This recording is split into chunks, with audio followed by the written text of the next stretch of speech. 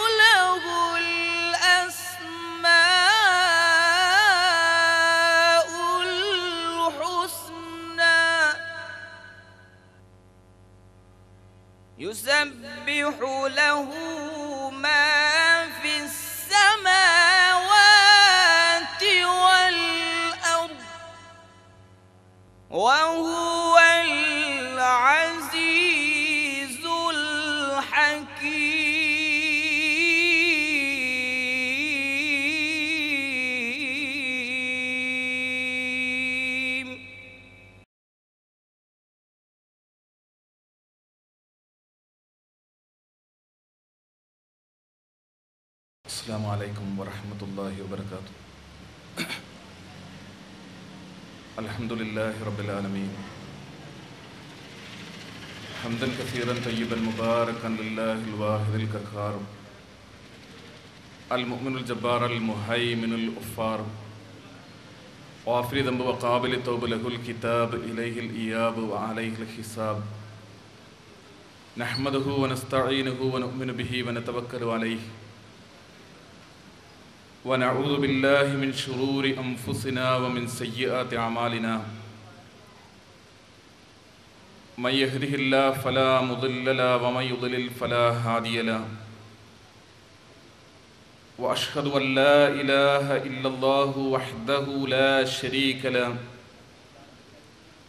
وأشهد أن محمدا عبده ورسوله. أرسله بالهدى ودين الحق ليظهره على الدين كله ولو كره المشركون.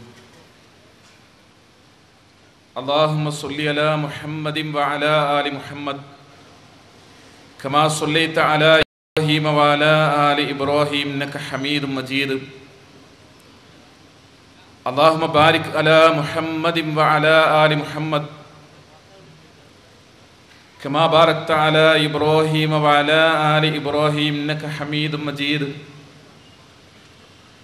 أما بعد فإن خير الكلام كلام الله وخير الهدي هدي محمد صلى الله عليه وسلم. أعوذ بالله السميع العليم من الشيطان الرجيم. يا أيها الذين آمنوا اتقوا الله حق تقاته ولا تموتن إلا وأنتم مسلمون. بسم الله الرحمن الرحيم. يريدون أن يطفئوا نور الله بأفواههم ويأبى الله إلا أن يتم نوره ولو كره الكافرون هو الذي أرسل رسوله بالهدى ودين الحق ليظهره على الدين كله ولو كره المشركون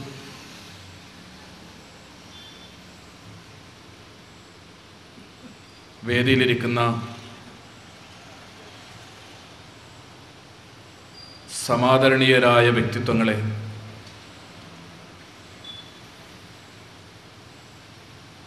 ഈ ശബ്ദത്തെ ശ്രദ്ധിക്കുന്ന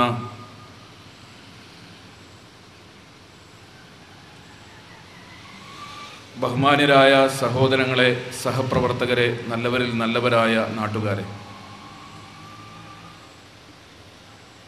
ജഗന്നിയന്താവായ കാരുണ്യവാനായ പടച്ചതമ്പുരാന്റെ കൃപാകടാക്ഷങ്ങൾ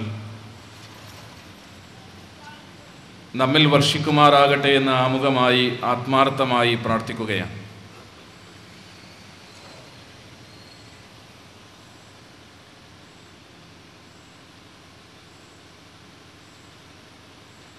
ഏറെ സങ്കീർണമായ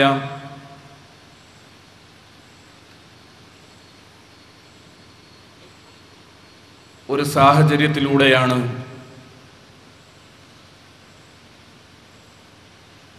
നമ്മുടെ സമൂഹവും നമ്മുടെ കാലഘട്ടവും കടന്നുപോയിക്കൊണ്ടിരിക്കുന്നത്.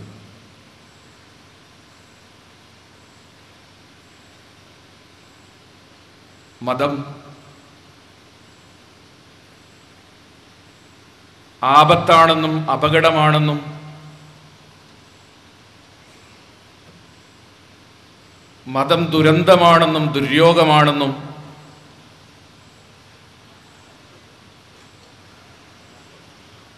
മതം സമാധാനത്തിന്റെ ശത്രുവാണെന്നും ശാന്തിയെ തകർക്കുന്നത് മതമാണെന്നും.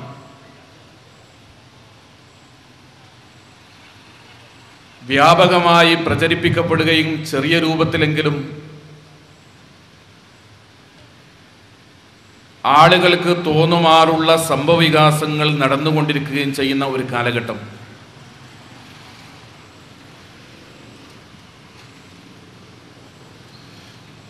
രാജ്യമൊട്ടുക്കും നാടൊട്ടുക്കും തീവ്രവാദത്തെക്കുറിച്ചും ഭീകരവാദത്തെക്കുറിച്ചും മതവുമായി ബന്ധപ്പെട്ട കലാപങ്ങളെക്കുറിച്ചും ആശങ്കകളും അസ്വസ്ഥതകളും നിലനിൽക്കുന്ന ഒരു സാഹചര്യം.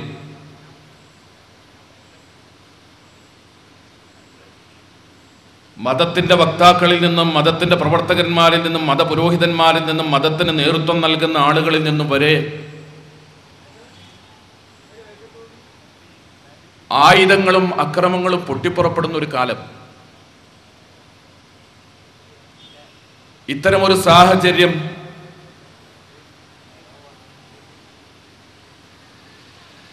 തങ്ങളുടെ തലതിരിഞ്ഞ ചില ആശയങ്ങളുടെ പ്രചാരണത്തിന് സഹായകമാണ് എന്ന് തോന്നിയത് കൊണ്ടാകാം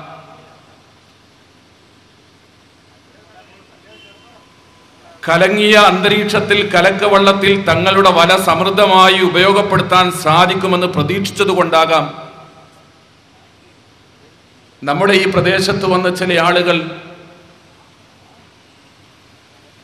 മതത്തെയും അതിന്റെ വിശ്വാസങ്ങളെയും അതിന്റെ ആചാരങ്ങളെയും അതിന്റെ അനുഷ്ഠാനങ്ങളെയും ചോദ്യം ചെയ്തുകൊണ്ടുള്ള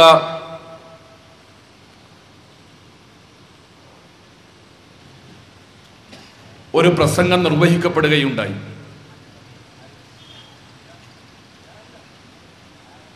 തീർച്ചയായും ഇസ്ലാമിന്റെ പശ്ചാത്തലത്തിൽ നിന്നുകൊണ്ടാണ് ഇസ്ലാം എന്ന് പറയുന്ന മതത്തിന്റെ പ്ലാറ്റ്ഫോമിൽ നിന്നുകൊണ്ടാണ്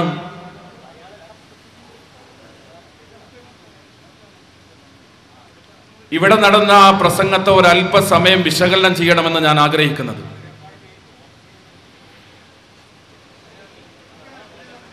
മതവിശ്വാസവും ദൈവവിശ്വാസവും ലോകത്തെ കാലഘട്ടത്തിലുമുണ്ട്. മതമില്ലാത്ത ഒരു കാലഘട്ടമെന്നോ ദൈവമില്ലാത്ത ഒരു കാലഘട്ടമെന്നോ മനുഷ്യന്റെ ചരിത്രത്തിൽ എവിടെയും രേഖപ്പെടുത്തപ്പെട്ടിട്ടേയില്ല. നാം ജീവിക്കുന്ന ലോകത്ത് ഭൂമി ലോകത്ത് മനുഷ്യർ എവിടെ ജനിച്ച് ജീവിച്ചുവോ അവിടങ്ങളിലെല്ലാം ഏതേത് സംസ്കാരങ്ങളും നാഗരികളും കഴിഞ്ഞുപോയോ അവിടങ്ങളിലെല്ലാം. ലോകത്തിന്റെ ഏതേത് കോണുകളിൽ മനുഷ്യർ ജീവിച്ചുവോ അവിടെയെല്ലാം. ഒരു രൂപത്തിൽ അല്ലെങ്കിൽ മറ്റൊരു രൂപത്തിൽ ദൈവസങ്കല്പങ്ങൾ ഉണ്ടായിരുന്നു മതവിശ്വാസങ്ങൾ ഉണ്ടായിരുന്നു. അതില്ലാത്ത ഒരു ജനതയോ അതില്ലാത്ത ഒരു സമൂഹമോ അതില്ലാത്ത ഒരു കാലഘട്ടമോ മനുഷ്യ ചരിത്രത്തിൽ എവിടെയും കണ്ടിട്ടേയില്ല. ദൈവവിശ്വാസം ഉണ്ടായിരുന്നു എന്നതോടൊപ്പം തന്നെ മതവിശ്വാസം ഉണ്ടായിരുന്നു എന്നതോടൊപ്പം തന്നെ മതവിശ്വാസത്തെയും ദൈവവിശ്വാസത്തെയും ചോദ്യം ചെയ്യുന്ന ആളുകളും ചരിത്രത്തിൽ മതത്തിന്റെ കൂടെ തന്നെയുണ്ട്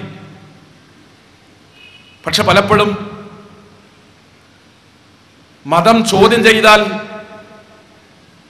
പ്രകോപനപരമായി പ്രതികരിക്കും. മതത്തെ വിമർശിച്ചാൽ അക്രമങ്ങൾ ഉണ്ടാകും. മതത്തെ ചോദ്യം ചെയ്താൽ കലാപങ്ങൾ ഉണ്ടാകും. മതവിശ്വാസത്തെ അതിന്റെ ന്യായാന്യായങ്ങൾ അതിന്റെ യുക്തിയെ ആരെങ്കിലും അന്വേഷിച്ചാൽ അതിന്റെ പേരിൽ സമൂഹത്തിൽ പ്രശ്നങ്ങൾ ഉണ്ടാകും എന്നൊക്കെ പലപ്പോഴും പ്രചരിപ്പിക്കപ്പെടാറുണ്ട്. ഇസ്ലാമിനെ സംബന്ധിച്ചിടത്തോളം അതിന്റെ ചരിത്രത്തിന്റെ ഒന്നാം തീയതി മുതൽ നിരന്തരമായ ചോദ്യം ചെയ്യലുകൾക്കും വിമർശനങ്ങൾക്കും വിധേയമായിട്ടുള്ള ഒരു മതമാണ് ഇസ്ലാം. ഇസ്ലാം അതിന്റെ വിശ്വാസത്തെ ആര് ചോദ്യം ചെയ്താലും അതിന്റെ ആദർശത്തെ ആര് ചോദ്യം ചെയ്താലും അതിന്റെ അടിസ്ഥാനപരമായ ആശയങ്ങളെ ആരൊക്കെ വിമർശിച്ചാലും വിമർശകന്മാരുടെ വിമർശനങ്ങൾക്ക് അർഹമായ മറുപടികൾ നൽകുക എന്നതല്ലാതെ പ്രകോപനപരമായ രീതിയോ അക്രമത്തിന്റെ മാർഗമോ ഇസ്ലാം സ്വീകരിക്കാറില്ല. നമ്മുടെ രാജ്യത്ത് വിശുദ്ധ ഖുർആാനിന് വിമർശന പഠനം എഴുതിയിട്ട് നാളുകൾ ഒരുപാടായി. ആ വിമർശന പഠനമടക്കം കേരളത്തിലെ യുക്തിവാദികൾ പതിറ്റാണ്ടുകളോളമായി ഉയർത്തിക്കാണിക്കുന്ന ചില വിമർശനങ്ങൾ തന്നെയാണ് ഇവിടെ നടന്നു എന്ന് പറയപ്പെടുന്ന പ്രസംഗത്തിൽ ഉദ്ധരിക്കപ്പെട്ടിട്ടുള്ളത്. ഇസ്ലാമിനെ വിമർശിച്ചുകൊണ്ട് ഖുർആാനിനെ വിമർശിച്ചുകൊണ്ട് മുഹമ്മദ് റസൂലുള്ളാഹി സ്വല്ലല്ലാഹു അലൈഹി വസല്ലമയെ വിമർശിച്ചുകൊണ്ട് ഗ്രന്ഥം എഴുതിയവർ ലേഖനങ്ങൾ പ്രസിദ്ധീകരിച്ചവർ പ്രസിദ്ധീകരണങ്ങൾ കൊണ്ടു നടന്നവർ കേരളത്തിന്റെ ഏത് ഭാഗത്തായിരുന്നാലും കേരളത്തിലെ ഏത് പ്രദേശത്തായിരുന്നാലും ഇസ്ലാമിനെ വിമർശിച്ചു എന്നതിന്റെ പേരിലോ ഇസ്ലാമിക സിദ്ധാന്തങ്ങളെ ചോദ്യം ചെയ്തു എന്നതിന്റെ പേരിലോ ആക്രമിക്കപ്പെടുകയോ രോമത്തിന് പോലും പൂറലേൽപ്പിക്കപ്പെടുകയോ ചെയ്തിട്ടില്ലെന്നത് നമ്മുടെ രാജ്യത്തിന്റെ നമ്മുടെ നാടിന്റെ ചരിത്രത്തിന്റെ ഭാഗമാണ്. അതുകൊണ്ട് ഞാൻ ആദ്യമേ പറയട്ടെ വിമർശനങ്ങളെ ആത്മാർത്ഥമായി സ്വാഗതം ചെയ്യുകയാണ്. നിങ്ങൾ വിമർശിച്ചതുകൊണ്ട് ഇസ്ലാമിനെയും ഇസ്ലാമിക സിദ്ധാന്തങ്ങളെയും നിങ്ങൾ ചോദ്യം ചെയ്തതുകൊണ്ട് ഈ നാട്ടിലുള്ള ബഹുമാന്യരായ ഞങ്ങളുടെ സഹോദരങ്ങളോട് ഒരല്പസമയം ഇസ്ലാം എന്താണ് എന്ന് സംസാരിക്കാനുള്ള ഒരു വേദി കിട്ടിയതിന് സന്തോഷത്തോടു കൂടെയാണ് ഞങ്ങൾ സ്വീകരിക്കുന്നത്. ഇസ്ലാം മനുഷ്യന്റെ ബുദ്ധിക്കും മനുഷ്യന്റെ ചിന്തക്കും മനുഷ്യന്റെ യുക്തിക്കും മനുഷ്യന്റെ അറിവിനും ഏറെ പ്രാധാന്യം നൽകുന്ന ഒരു മതമാണ്. അറിയാനും പഠിക്കാനും ചിന്തിക്കാനും മനസ്സിലാക്കാനും ആവർത്തിച്ച് ആവർത്തിച്ച് മനുഷ്യരോട് ആഹ്വാനം ചെയ്യുന്ന ഒരു മതം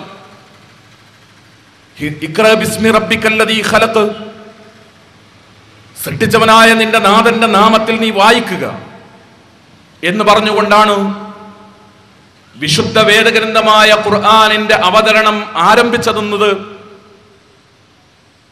മുസ്ലിം അമുസ്ലിം ഭേദമില്ലാതെ ഖുർആാനിനെ കുറിച്ച് മാലോകർക്ക് മുഴുവൻ അറിയാവുന്ന വലിയൊരു വിജ്ഞാനമാണ്.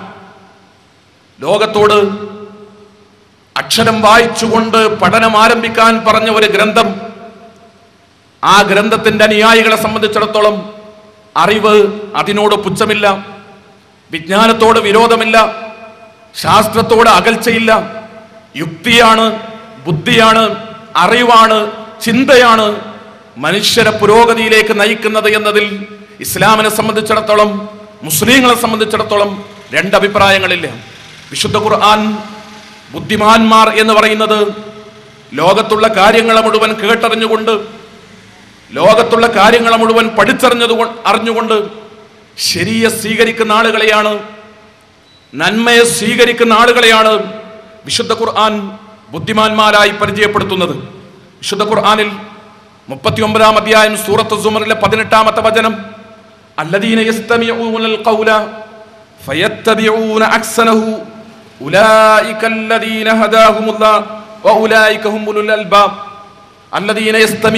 ഖൗൽ വാക്കുകളൊക്കെ ശ്രദ്ധിച്ച് കേൾക്കൽ കണ്ണും കാതും കൊടുത്ത് ലോകത്തെ ശ്രദ്ധിച്ച് കാര്യങ്ങളെ കേട്ട് മനസ്സിലാക്കൽ ഏറ്റവും നല്ലതെന്താണെങ്കിൽ അത് കണ്ടെത്തി അതിനെ സ്വീകരിക്കൽ പിൻപറ്റൽ. ഉലായിക്കല്ലദീന ഹദാഹുമുള്ള അവർക്കാണ് പ്രപഞ്ചത്തിന്റെ രക്ഷിതാവ് പടച്ച തമ്പുരാൻ ദൈവം തമ്പുരാൻ. നേർമാർഗത്തിലേക്ക് വഴി കാണിക്കുക അവരെയാണ് നേർമാർഗത്തിൽ ദൈവം തമ്പുരാൻ ചേർക്കുക. ഉലായിക്കഹും ഉലുൽ അൽബാബ്. അവരാണ് ബുദ്ധിയുള്ളവർ അവരാണ് മൂളയുള്ളവർ അവരാണ് ചിന്തിക്കുന്നവർ. അതുകൊണ്ട് യുക്തിവാദിയുടെ വർത്തമാനം ദൈവത്തെ നിഷേധിക്കുന്നവൻ ദൈവത്തെ അനുകൂലിക്കുന്നവൻ മതവുമായി ബന്ധപ്പെട്ട ചർച്ചകൾ അഭിപ്രായങ്ങൾ പ്രസംഗങ്ങൾ എല്ലാം അറിയാനും പഠിക്കാനും ഒരു മുസ്ലിമിനെ സംബന്ധിച്ചിടത്തോളം പ്രയാസങ്ങളില്ല. അവരതിന് സന്നദ്ധമാണ്. വിശുദ്ധ ഖുർആാനിൽ ആവർത്തിച്ച് ആവർത്തിച്ച് അനേകം സ്ഥലങ്ങളിൽ മനുഷ്യരോട് ചിന്തിക്കാനും പഠിക്കാനും ഖുർആൻ ആവശ്യപ്പെട്ടുകൊണ്ടേയിരിക്കുന്നുണ്ട്. ഇസ്ലാമിന്റെ വീക്ഷണം ഖുർആാനിന്റെ വീക്ഷണം കാണാത്തവരും പഠിക്കാത്തവരും ചിന്തിക്കാത്തവരും അവർ നാളെ പരലോകത്ത് നരകാവകാശികളാണ് എന്ന അധ്യാപനം. ലോകത്ത് ഒരു മതം എന്ന നിലയ്ക്ക് ഇസ്ലാമാണ് ലോകത്തിന് മുമ്പിൽ അവതരിപ്പിക്കുന്നത്.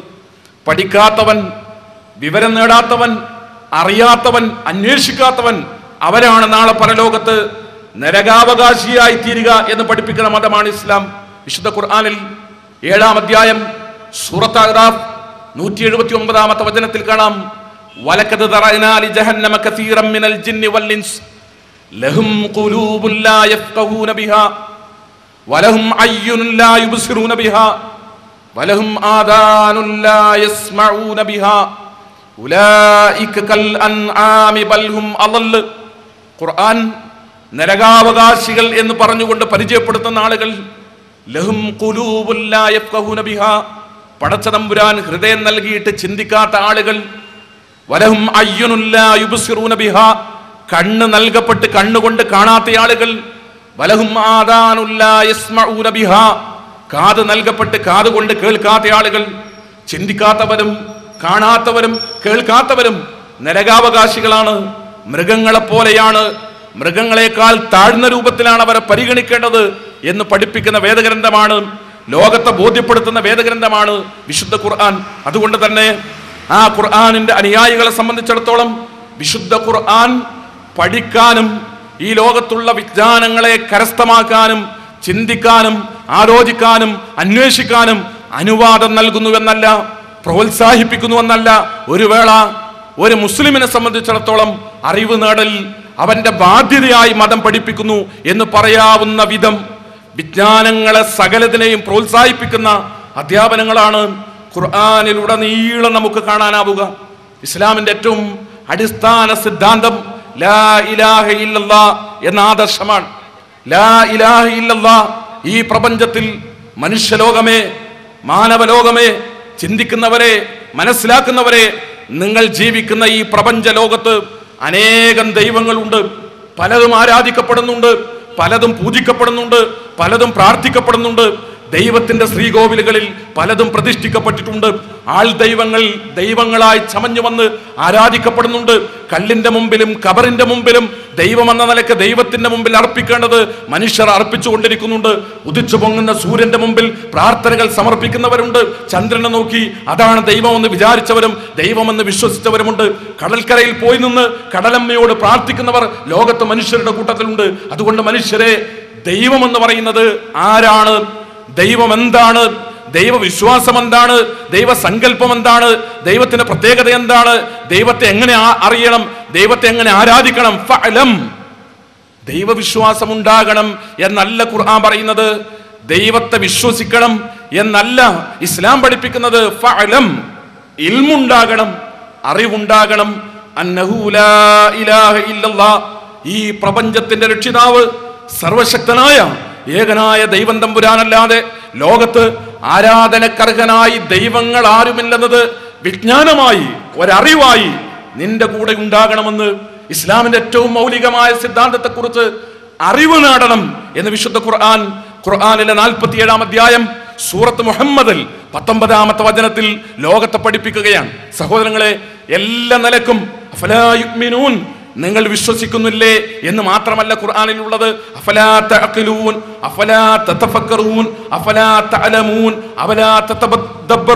ചിന്തിക്കുന്നില്ലേ? ഉറ്റാലോചിക്കുന്നില്ലേ ബുദ്ധി കൊടുക്കുന്നില്ലേ? മനസ്സിലാക്കുന്നില്ലേ? അറിയുന്നില്ലേ? ആവർത്തിച്ച് ആവർത്തിച്ച് മനുഷ്യന്റെ അറിവിനെയും ബുദ്ധിയെയും ചിന്തിയെ ചിന്തയെയും തട്ടി ഉണർത്തി അവന്റെ മനസ്സിനോട് സംസാരിക്കാനാണ് അവന്റെ ബുദ്ധിയോട് സംസാരിക്കാനാണ് അവന്റെ യുക്തിയോട് സംസാരിക്കാനാണ് വിശുദ്ധ വേദഗ്രന്ഥമായ ഖുർആൻ അതിന്റെ ആ ഗ്രന്ഥത്തിന്റെ ആദ്യാവസാനം മുഴുവൻ ശ്രമിച്ചിട്ടുള്ളതെന്ന് അത് പഠിക്കുന്ന ആളുകൾക്ക് അത് മറിച്ചു നോക്കുന്ന ആളുകൾക്ക് കൃത്യമായി മനസ്സിലാക്കാൻ സാധിക്കും. പക്ഷേ മതത്തെ വിമർശിക്കുന്ന ആളുകൾ മതത്തെ ചോദ്യം ചെയ്യുന്ന ആളുകൾ മതം തന്നെ ദുരന്തമാണ് അപകടമാണ് എന്ന് പറയുന്ന ആളുകൾ പലപ്പോഴും സകല വസ്തുതകൾക്കും നേരെ കണ്ണടക്കുന്ന യാഥാർത്ഥ്യങ്ങളെ മുഴുവൻ കണ്ണടച്ചിരുട്ടാക്കി തങ്ങളുടെ ജൽപ്പനങ്ങളെയും തങ്ങളുടെ തോന്നലുകളെയും തങ്ങളുടെ തോന്നിയവാസങ്ങളെയും ആദർശമായി അവതരിപ്പിക്കുന്ന ഒരു പ്രവണതയാണ് നമുക്ക് നമ്മുടെ സമൂഹത്തിൽ കാണാൻ കഴിയുന്നത്. ഇവിടെ ഇസ്ലാമിനെ ചോദ്യം ചെയ്തുകൊണ്ട് മതത്തെ ചോദ്യം ചെയ്തുകൊണ്ട് ആരംഭിച്ച പ്രസംഗത്തിന്റെ ആരംഭം മതം തകർക്കപ്പെടേണ്ടുന്ന കാലമാണ് എന്ന് പറഞ്ഞുകൊണ്ടാണ് ആരംഭിച്ചത്. മതം തകർക്കപ്പെടേണ്ടുന്ന കാലമാണ്. മതവിശ്വാസങ്ങൾ തകർക്കപ്പെടേണ്ടുന്ന കാലമാണ് എന്ന് പറഞ്ഞുകൊണ്ട് ആരംഭിച്ച പ്രസംഗം നേരെ ഇസ്ലാമിന്റെയും ഖുർആാനിന്റെയും മുഹമ്മദ് നബിയുടെയും ഹദീഫുകളുടെയും നേരെ കയറുന്ന അതിനാക്ഷേപിച്ചുകൊണ്ട് പ്രസംഗത്തിൽ ആദ്യാവസാനം ഇസ്ലാമിനെ മാത്രം ചീത്ത പറഞ്ഞുകൊണ്ടും ആക്ഷേപിച്ചുകൊണ്ടും വിമർശനങ്ങൾ ഉന്നയിച്ചുകൊണ്ടും ആരോപണങ്ങൾ ഉന്നയിച്ചുകൊണ്ടും പറഞ്ഞ് അവസാനിപ്പിക്കുന്ന ഒരു രീതിയിലാണ് ആ പ്രസംഗത്തെ എനിക്ക് മനസ്സിലാക്കാൻ സാധിച്ചത്. സഹോദരങ്ങളെ യുക്തിവാദികൾക്ക് അവരുടെ സ്വാതന്ത്ര്യമുണ്ട്. നേരത്തെ ഇവിടെ വിശദീകരിക്കപ്പെട്ടതുപോലെ നമ്മുടെ രാജ്യം നാം ജീവിക്കുന്ന ഭൂമി ലോകത്ത് ഞാൻ മനസ്സിലാക്കിയിടത്തോളം ഏറ്റവും അനുഗ്രഹീതമായ ഒരു രാജ്യമാണ്. ഇന്ത്യ രാജ്യത്തെ പോലെ അവനവന്റെ ആശയവും അവനവന്റെ ആദർശവും അവനവന്റെ വിശ്വാസവും അതെന്തു തന്നെയാകട്ടെ അത് ഈ ലോകത്തോട് പരസ്യമായി പറയാനും പച്ചയായി പ്രസംഗിക്കാനും ഇതുപോലെ അനുവാദവും അവകാശവും നൽകുന്ന ഒരു മണ്ണ് ഇന്ത്യ രാജ്യത്തെ പോലെ ഭൂമി ലോകത്ത് വേറെ എവിടെയും ഇല്ല എന്ന് വിചാരിക്കുന്ന ഒരാളാണ് ഞാൻ വിശ്വസിക്കുന്ന ഒരാളാണ് ഞാൻ. നമ്മുടെ രാജ്യത്തിന്റെ ഭരണഘടന രാജ്യത്തെ പൗരന്റെ മൗലിക അവകാശം fundamental right all persons are equally entitled to the freedom of conscious and the right to freely profess practise and propagate religion ഏത് മതവും വിശ്വസിക്കാൻ ഏത് മതവും ആചരിക്കാൻ ഏത് മതവും അനുഷ്ഠിക്കാൻ ഏത് മതവും പ്രചരിപ്പിക്കാൻ മതമില്ലെന്ന് പറയാൻ. ഇതിനെല്ലാം സ്വാതന്ത്ര്യം നൽകുന്ന അനുഗ്രഹീതമായ ഒരു മണ്ണ് ആ സ്വാതന്ത്ര്യം ഉപയോഗപ്പെടുത്തിക്കൊണ്ട് തന്നെ പരസ്യമായി ദൈവമില്ലെന്ന് പറയാം. ഏത് വസ്തുവിനെ ചൂണ്ടിയും അതെന്റെ ദൈവമാണെന്ന് പറയാം. ആ സ്വാതന്ത്ര്യമെല്ലാം നമ്മളിവിടെ അനുഭവിച്ചു കൊണ്ടിരിക്കുകയാണ് അതിന്റെ ഭാഗമായാണ് ആ പ്രസംഗവും ഈ പ്രസംഗവും സഹോദരങ്ങളെ ഇവിടെ നടക്കുന്നത്. എനിക്ക് ആമുഖമായി സൂചിപ്പിക്കാനുള്ളത് ഇസ്ലാമിനെ വിമർശിച്ചുകൊണ്ട് ഖുർആാനിനെ ചോദ്യം ചെയ്തുകൊണ്ട് മുഹമ്മദ് റസൂൽ അലൈഹി വസല്ലമയെ ആക്ഷേപിച്ചുകൊണ്ട് ഇവിടെ നടന്ന പ്രസംഗം കേട്ട മുഴുവൻ സഹോദരങ്ങളും ഈ പ്രസംഗത്തെ ഇതിന്റെ അവസാനം വരെ നിങ്ങളുടെ കണ്ണും കാതും മനസ്സും തന്ന് ഒന്ന് ശ്രദ്ധിക്കാനുള്ള സന്മനസ് നിങ്ങൾക്കുണ്ടാകണേ എന്ന് വിനീതമായി ഈ പ്രദേശത്തുള്ള മുഴുവൻ സഹോദരങ്ങളോടും ഞാൻ എന്റെ പ്രസംഗത്തിന്റെ ആമുഖം എന്ന നിലയ്ക്ക് ആവശ്യപ്പെടുകയാണ്. സഹോദരങ്ങളെ മതം എപ്പോഴാണ് മനുഷ്യർക്ക് ആവശ്യമായി വരുന്നത്? ഞാൻ എന്റെ സമീപ പ്രദേശത്തുള്ള മണ്ണാർക്കാടുള്ള ഒരുപാട് ദീർഘകാലമായി എനിക്ക് പരിചയമുള്ള ഒരു യുക്തിവാദിയോട് ദൈവത്തെക്കുറിച്ച് നിങ്ങളുടെ അഭിപ്രായം എന്താണ് എന്ന് ചോദിച്ചു. അദ്ദേഹം പറഞ്ഞു മോനെ അറുപത് വയസ്സായി. ഈ അറുപത് കൊല്ലത്തിനിടക്ക് എനിക്ക് ദൈവമോ ദൈവത്തിന്റെ അധ്യാപനങ്ങളോ മതമോ ആവശ്യമായി വന്നിട്ടില്ല. അതുകൊണ്ട് ഞാൻ ദൈവത്തെക്കുറിച്ചോ മതത്തെക്കുറിച്ചോ ചിന്തിച്ചിട്ടില്ല. അതുകൊണ്ട് എനിക്ക് അഭിപ്രായം പറയാനില്ല. പത്തറുപത് കൊല്ലം ജീവിച്ചിട്ട് എനിക്ക് ദൈവം ആവശ്യമായി വന്നില്ല. പത്തറുപത് കൊല്ലം ജീവിച്ചിട്ട് എനിക്ക് മതം ആവശ്യമായി വന്നിട്ടില്ല. കേരളത്തിലെ ശാസ്ത്ര സാഹിത്യ പരിഷത്തിന്റെ നേതാവും ഇടതുപക്ഷ സഹയാത്രികനും യുക്തിവാദികളുടെ നേതാവും എഴുത്തുകാരനും ബുദ്ധിജീവിയും സയന്റിസ്റ്റും ഒക്കെയായ R V G Menon. R V G മേനോന്റെ കൂടെ പാലക്കാട് നിന്ന് കോഴിക്കോട്ടേക്ക് K S R T C ബസ്സിൽ യാത്ര ചെയ്യുമ്പോൾ ഞാൻ ചോദിച്ചു സാർ നമ്മുടെ നാട്ടിൽ മതവിശ്വാസികളുണ്ടല്ലോ അവർ ദൈവമെന്ന് പറയുന്നുണ്ടല്ലോ താങ്കളുടെ അഭിപ്രായം എന്താണ്? അതേ പറഞ്ഞു ശാസ്ത്രീയമായ ഒരു അഭിപ്രായമാണ് ചോദിച്ചതെങ്കിൽ എനിക്ക് പറയാനാവില്ല. കാരണം ദൈവം ശാസ്ത്രത്തിന് അപ്പുറത്തുള്ള ഒന്നാണ്. ശാസ്ത്രം എന്ന് പറയുന്നത് വസ്തുപ്രപഞ്ചത്തെ പഠി പഠിക്കുന്ന അത് മനസ്സിലാക്കുന്ന അതിനെക്കുറിച്ച് ചിന്തിക്കാനുള്ള ഒരു സംവിധാനമാണ്. അതുകൊണ്ട് ശാസ്ത്രീയമായ അഭിപ്രായം പറയാൻ കഴിയില്ല. സർ താങ്കളുടെ അഭിപ്രായം എന്താണ്? അദ്ദേഹം പറഞ്ഞു നമുക്കറിവില്ലാത്തതെന്തോ അതിനെയാണ് ദൈവമെന്ന് പറയുക. നമുക്കറിവില്ലാത്തതെന്തോ അതിനെയാണ് ദൈവമെന്ന് പറയുക. സർ താങ്കളൊന്ന് വിശദീകരിക്കണം. അദ്ദേഹം പറഞ്ഞു ഒരു കാലഘട്ടത്തിൽ സൂര്യൻ എന്താണ് എന്ന് നമുക്കറിയുമായിരുന്നില്ല. അന്ന് സൂര്യൻ ദേവനാണെന്ന് വിചാരിച്ച് വിശ്വസിച്ച് ആളുകൾ അതിനെ ആരാധിച്ചു. ഒരു കാലഘട്ടത്തിൽ ഭൂമി എന്താണെന്ന് നമുക്ക് അറിയുമായിരുന്നില്ല അന്ന് ഭൂമി ആരാധിക്കപ്പെട്ടു. ഒരു കാലഘട്ടത്തിൽ കടൽ എന്താണെന്ന് അറിഞ്ഞിരുന്നില്ല. അത് അമ്മയാണെന്ന് ലോകം വിശ്വസിച്ചു. ഇന്ന് സൂര്യൻ എന്താണെന്ന് അറിയാം അതെന്തുകൊണ്ട് കത്തുന്നു എന്നറിയാം. അത് കത്തിയാൽ അതിൽ നിന്നുണ്ടാകുന്ന പ്രതിഭാസങ്ങൾ എന്താണെന്ന് അറിയാം അതുകൊണ്ട് അത് ദേവനാണെന്ന വിശ്വാസം നഷ്ടപ്പെട്ടുകൊണ്ടിരിക്കുന്നു. ഭൂമി അതെന്താണ്? അതിനകത്തെന്താണ്? എന്ന് കൃത്യമായ പഠനങ്ങൾ നടന്നു. അത് ദേവിയാണെന്ന വിശ്വാസം ക്രമേണ കുറഞ്ഞുകൊണ്ടിരിക്കുന്നു. കടലിനെ പറ്റിയും അപ്രകാരം തന്നെ. അവസാനം അദ്ദേഹം ചുരുക്കി അവതരിപ്പിച്ചു. അറിവ് കൂടുമ്പോൾ വിജ്ഞാനം കൂടുമ്പോൾ വിവരം കൂടുമ്പോൾ ക്രമേണ ക്രമേണയായി ഇല്ലാതെയാകുന്ന ഒന്നാണ് ദൈവവിശ്വാസം എന്ന് പറയുന്നത്. അപ്പൊ ഇന്ന് ലോകത്ത് ദൈവവിശ്വാസം നിലനിൽക്കുന്നത് ദൈവസങ്കല്പങ്ങൾ നിലനിൽക്കുന്നത് യഥാർത്ഥത്തിൽ മനുഷ്യർക്ക് വിവരമില്ലാത്തത് കൊണ്ടാണ്. അറിവില്ലാത്തത് കൊണ്ടാണ്. അറിവ് കൂടുമ്പോൾ വിജ്ഞാനം കൂടുമ്പോൾ വിവരം കൂടുമ്പോൾ ഘട്ടം ഘട്ടമായി ക്രമേണ ക്രമേണയായി അറിവ് കുറ ദൈവവിശ്വാസം കുറഞ്ഞുകൊണ്ടിരിക്കും. ഞാൻ മനസ്സിലാക്കിയിടത്തോളം ഇന്ന് ഇന്ത്യ രാജ്യത്ത് ജീവിച്ചിരിക്കുന്ന ബുദ്ധിജീവികളുടെ കൂട്ടത്തിൽ പ്രമുഖനാണ് നമ്മുടെ രാജ്യത്തിന്റെ മുൻ പ്രസിഡന്റ്.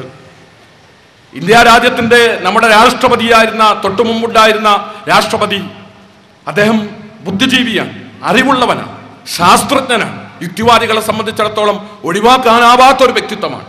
ഒരു രാഷ്ട്രത്തിന്റെ പ്രസിഡന്റ് എന്ന് പറയുമ്പോൾ അദ്ദേഹത്തിന്റെ സമയത്തിന് വല്ലാത്ത പ്രാധാന്യമുണ്ട്. നമുക്കറിയാം പ്രതിഭാ പാട്ടീൽ എറണാകുളത്ത് വന്നപ്പോൾ രാഷ്ട്രപതി എറണാകുളത്ത് വന്നപ്പോൾ വിദ്യാഭ്യാസ മന്ത്രി എം എ ബേബി സ്വാഗതം പറഞ്ഞു. സ്വാഗതം പറഞ്ഞത് നിശ്ചയിക്കപ്പെട്ട സമയത്തിൽ നിന്ന് അര മിനിറ്റോ ഒരു മിനിറ്റോ ഒരൽപ്പം ദീർഘിച്ചു പോയി. അത് ഒരു വലിയ ചർച്ചയായി വിവാദമായി പത്രങ്ങളിൽ വരെ വന്നു. കാരണം സദസ്സിലിരിക്കുന്ന അതിഥി എന്ന് പറയുന്നത് രാഷ്ട്രപതിയാണ്. രാഷ്ട്രത്തിന്റെ പ്രഥമ വനിതയാണ്. അവരിയ്ക്കുന്ന ഒരു സദസ്സിൽ സമയത്തിന്റെ സെക്കൻഡുകൾക്ക് വരെ ഏറെ വിലയുണ്ട്.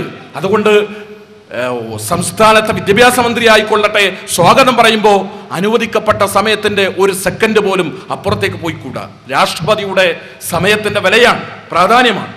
അതേ രാഷ്ട്രപതിയുടെ കസേരയിൽ ബുദ്ധിജീവിയും എഴുത്തുകാരനും ശാസ്ത്രജ്ഞനും എല്ലാമായ A P J Abdul Kalam ഇരിക്കുന്ന സമയത്താണ് പുട്ടപർത്തിയിൽ സായിബാബയുടെ ജന്മദിനം ആഘോഷിക്കപ്പെട്ടത്. ഇന്ത്യയിലെ അറിയപ്പെട്ട ആൾ ദൈവത്തിന്റെ ജന്മദിനം. യുക്തിവാദി പ്രസിദ്ധീകരണങ്ങൾ നമ്മൾ എടുത്താൽ അതിൽ എല്ലാ പ്രസിദ്ധീകരണങ്ങളിലും ആൾ ദൈവങ്ങളെ വിമർശിച്ചുകൊണ്ടുള്ള ലേഖനങ്ങൾ കാണാം.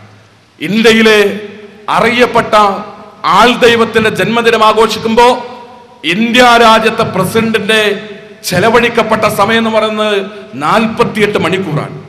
മലയാള പത്രങ്ങളിൽ വരെ ആൾ ദൈവം ഉയർന്ന പീഠത്തിലും ഇന്ത്യയുടെ പ്രഥമ പൗരൻ താഴെ നിലത്ത് ചമ്രം പടിഞ്ഞിരുന്നും ആൾ ദൈവത്തിന്റെ വലത് കൈകൊണ്ട് അനുഗ്രഹം വാങ്ങുന്ന വർണ ചിത്രങ്ങൾ കാണേണ്ട ഗതികേടുണ്ടായവരാണ് ഞാനും നിങ്ങളും. അദ്ദേഹത്തിന് അറിവില്ലെന്ന് നമ്മൾ പറയുമോ? അദ്ദേഹത്തിന് വിവരമില്ലെന്ന് നമ്മൾ പറയുമോ? അദ്ദേഹത്തിന് വിജ്ഞാനമില്ലെന്ന് പറയുമോ? അദ്ദേഹത്തിന് ശാസ്ത്രം അറിയില്ലെന്ന് പറയുമോ? അദ്ദേഹം യുക്തിയില്ലാത്തവനാണ് എന്ന് യുക്തിവാദികൾ പറയുമോ? അദ്ദേഹത്തിന് യുക്തിയുണ്ട് അറിവുണ്ട് ബുദ്ധിയുണ്ട്. എന്നിട്ടും അദ്ദേഹത്തിന് വിശ്വാസമുണ്ടായി.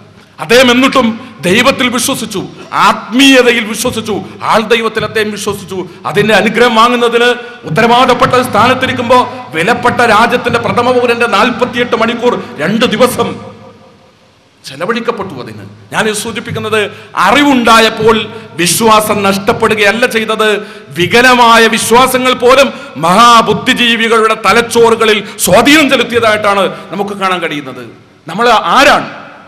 യുക്തിവാദത്തെക്കുറിച്ചും നിരീശ്വരവാദത്തെക്കുറിച്ചും ഭൗതികവാദത്തെക്കുറിച്ചും എഴുതുകയും പറയുകയും പ്രസംഗിക്കുകയും ചെയ്യുന്ന അനേകം ആളുകൾ അവരും അവരുടെ വീടുകളും ഒക്കെ പരിശോധിച്ചാൽ ദൈവവിശ്വാസമുള്ളവരാണ്. നമുക്കറിയാം എം എൻ വിജയൻ സാർ അദ്ദേഹം മരിക്കുന്നത് വരെ അതിശക്തമായി കമ്മ്യൂണിസത്തിനു വേണ്ടിയും കമ്മ്യൂണിസത്തെ നന്നാക്കുന്നതിനു വേണ്ടിയും പണിയെടുത്ത ആളാണ്. തൃശ്ശൂരിലെ പത്രസമ്മേളനത്തിൽ വെച്ച് മാലോകരുടെ മുമ്പിൽ വെച്ച് അദ്ദേഹം അന്ത്യശ്വാസം വലിക്കുമ്പോൾ ആ പത്രസമ്മേളനത്തിൽ പങ്കെടുത്തുകൊണ്ട് വരെ അദ്ദേഹത്തിന്റെ സംസാരങ്ങൾ കമ്മ്യൂണിസത്തെ നന്നാക്കുന്നതിനു വേണ്ടിയാണ്. വൈരുദ്ധ്യാധിഷ്ഠിത ഭൗതികവാദം ദൈവവിശ്വാസത്തിലും നിരീശ്വരവാദത്തിലും അധിഷ്ഠിതം തന്നെയാണ് കമ്മ്യൂണിസ്റ്റുകാർ. ഞാൻ ദൈവവിശ്വാസിയാണെന്ന് പറയാൻ എത്ര ശ്രമിച്ചാലും ആ ആദർശം കമ്മ്യൂണിസം എന്ന് പറയുന്ന ആദർശം നിരീശ്വരവാദത്തിൽ അധിഷ്ഠിതം തന്നെയാണ്.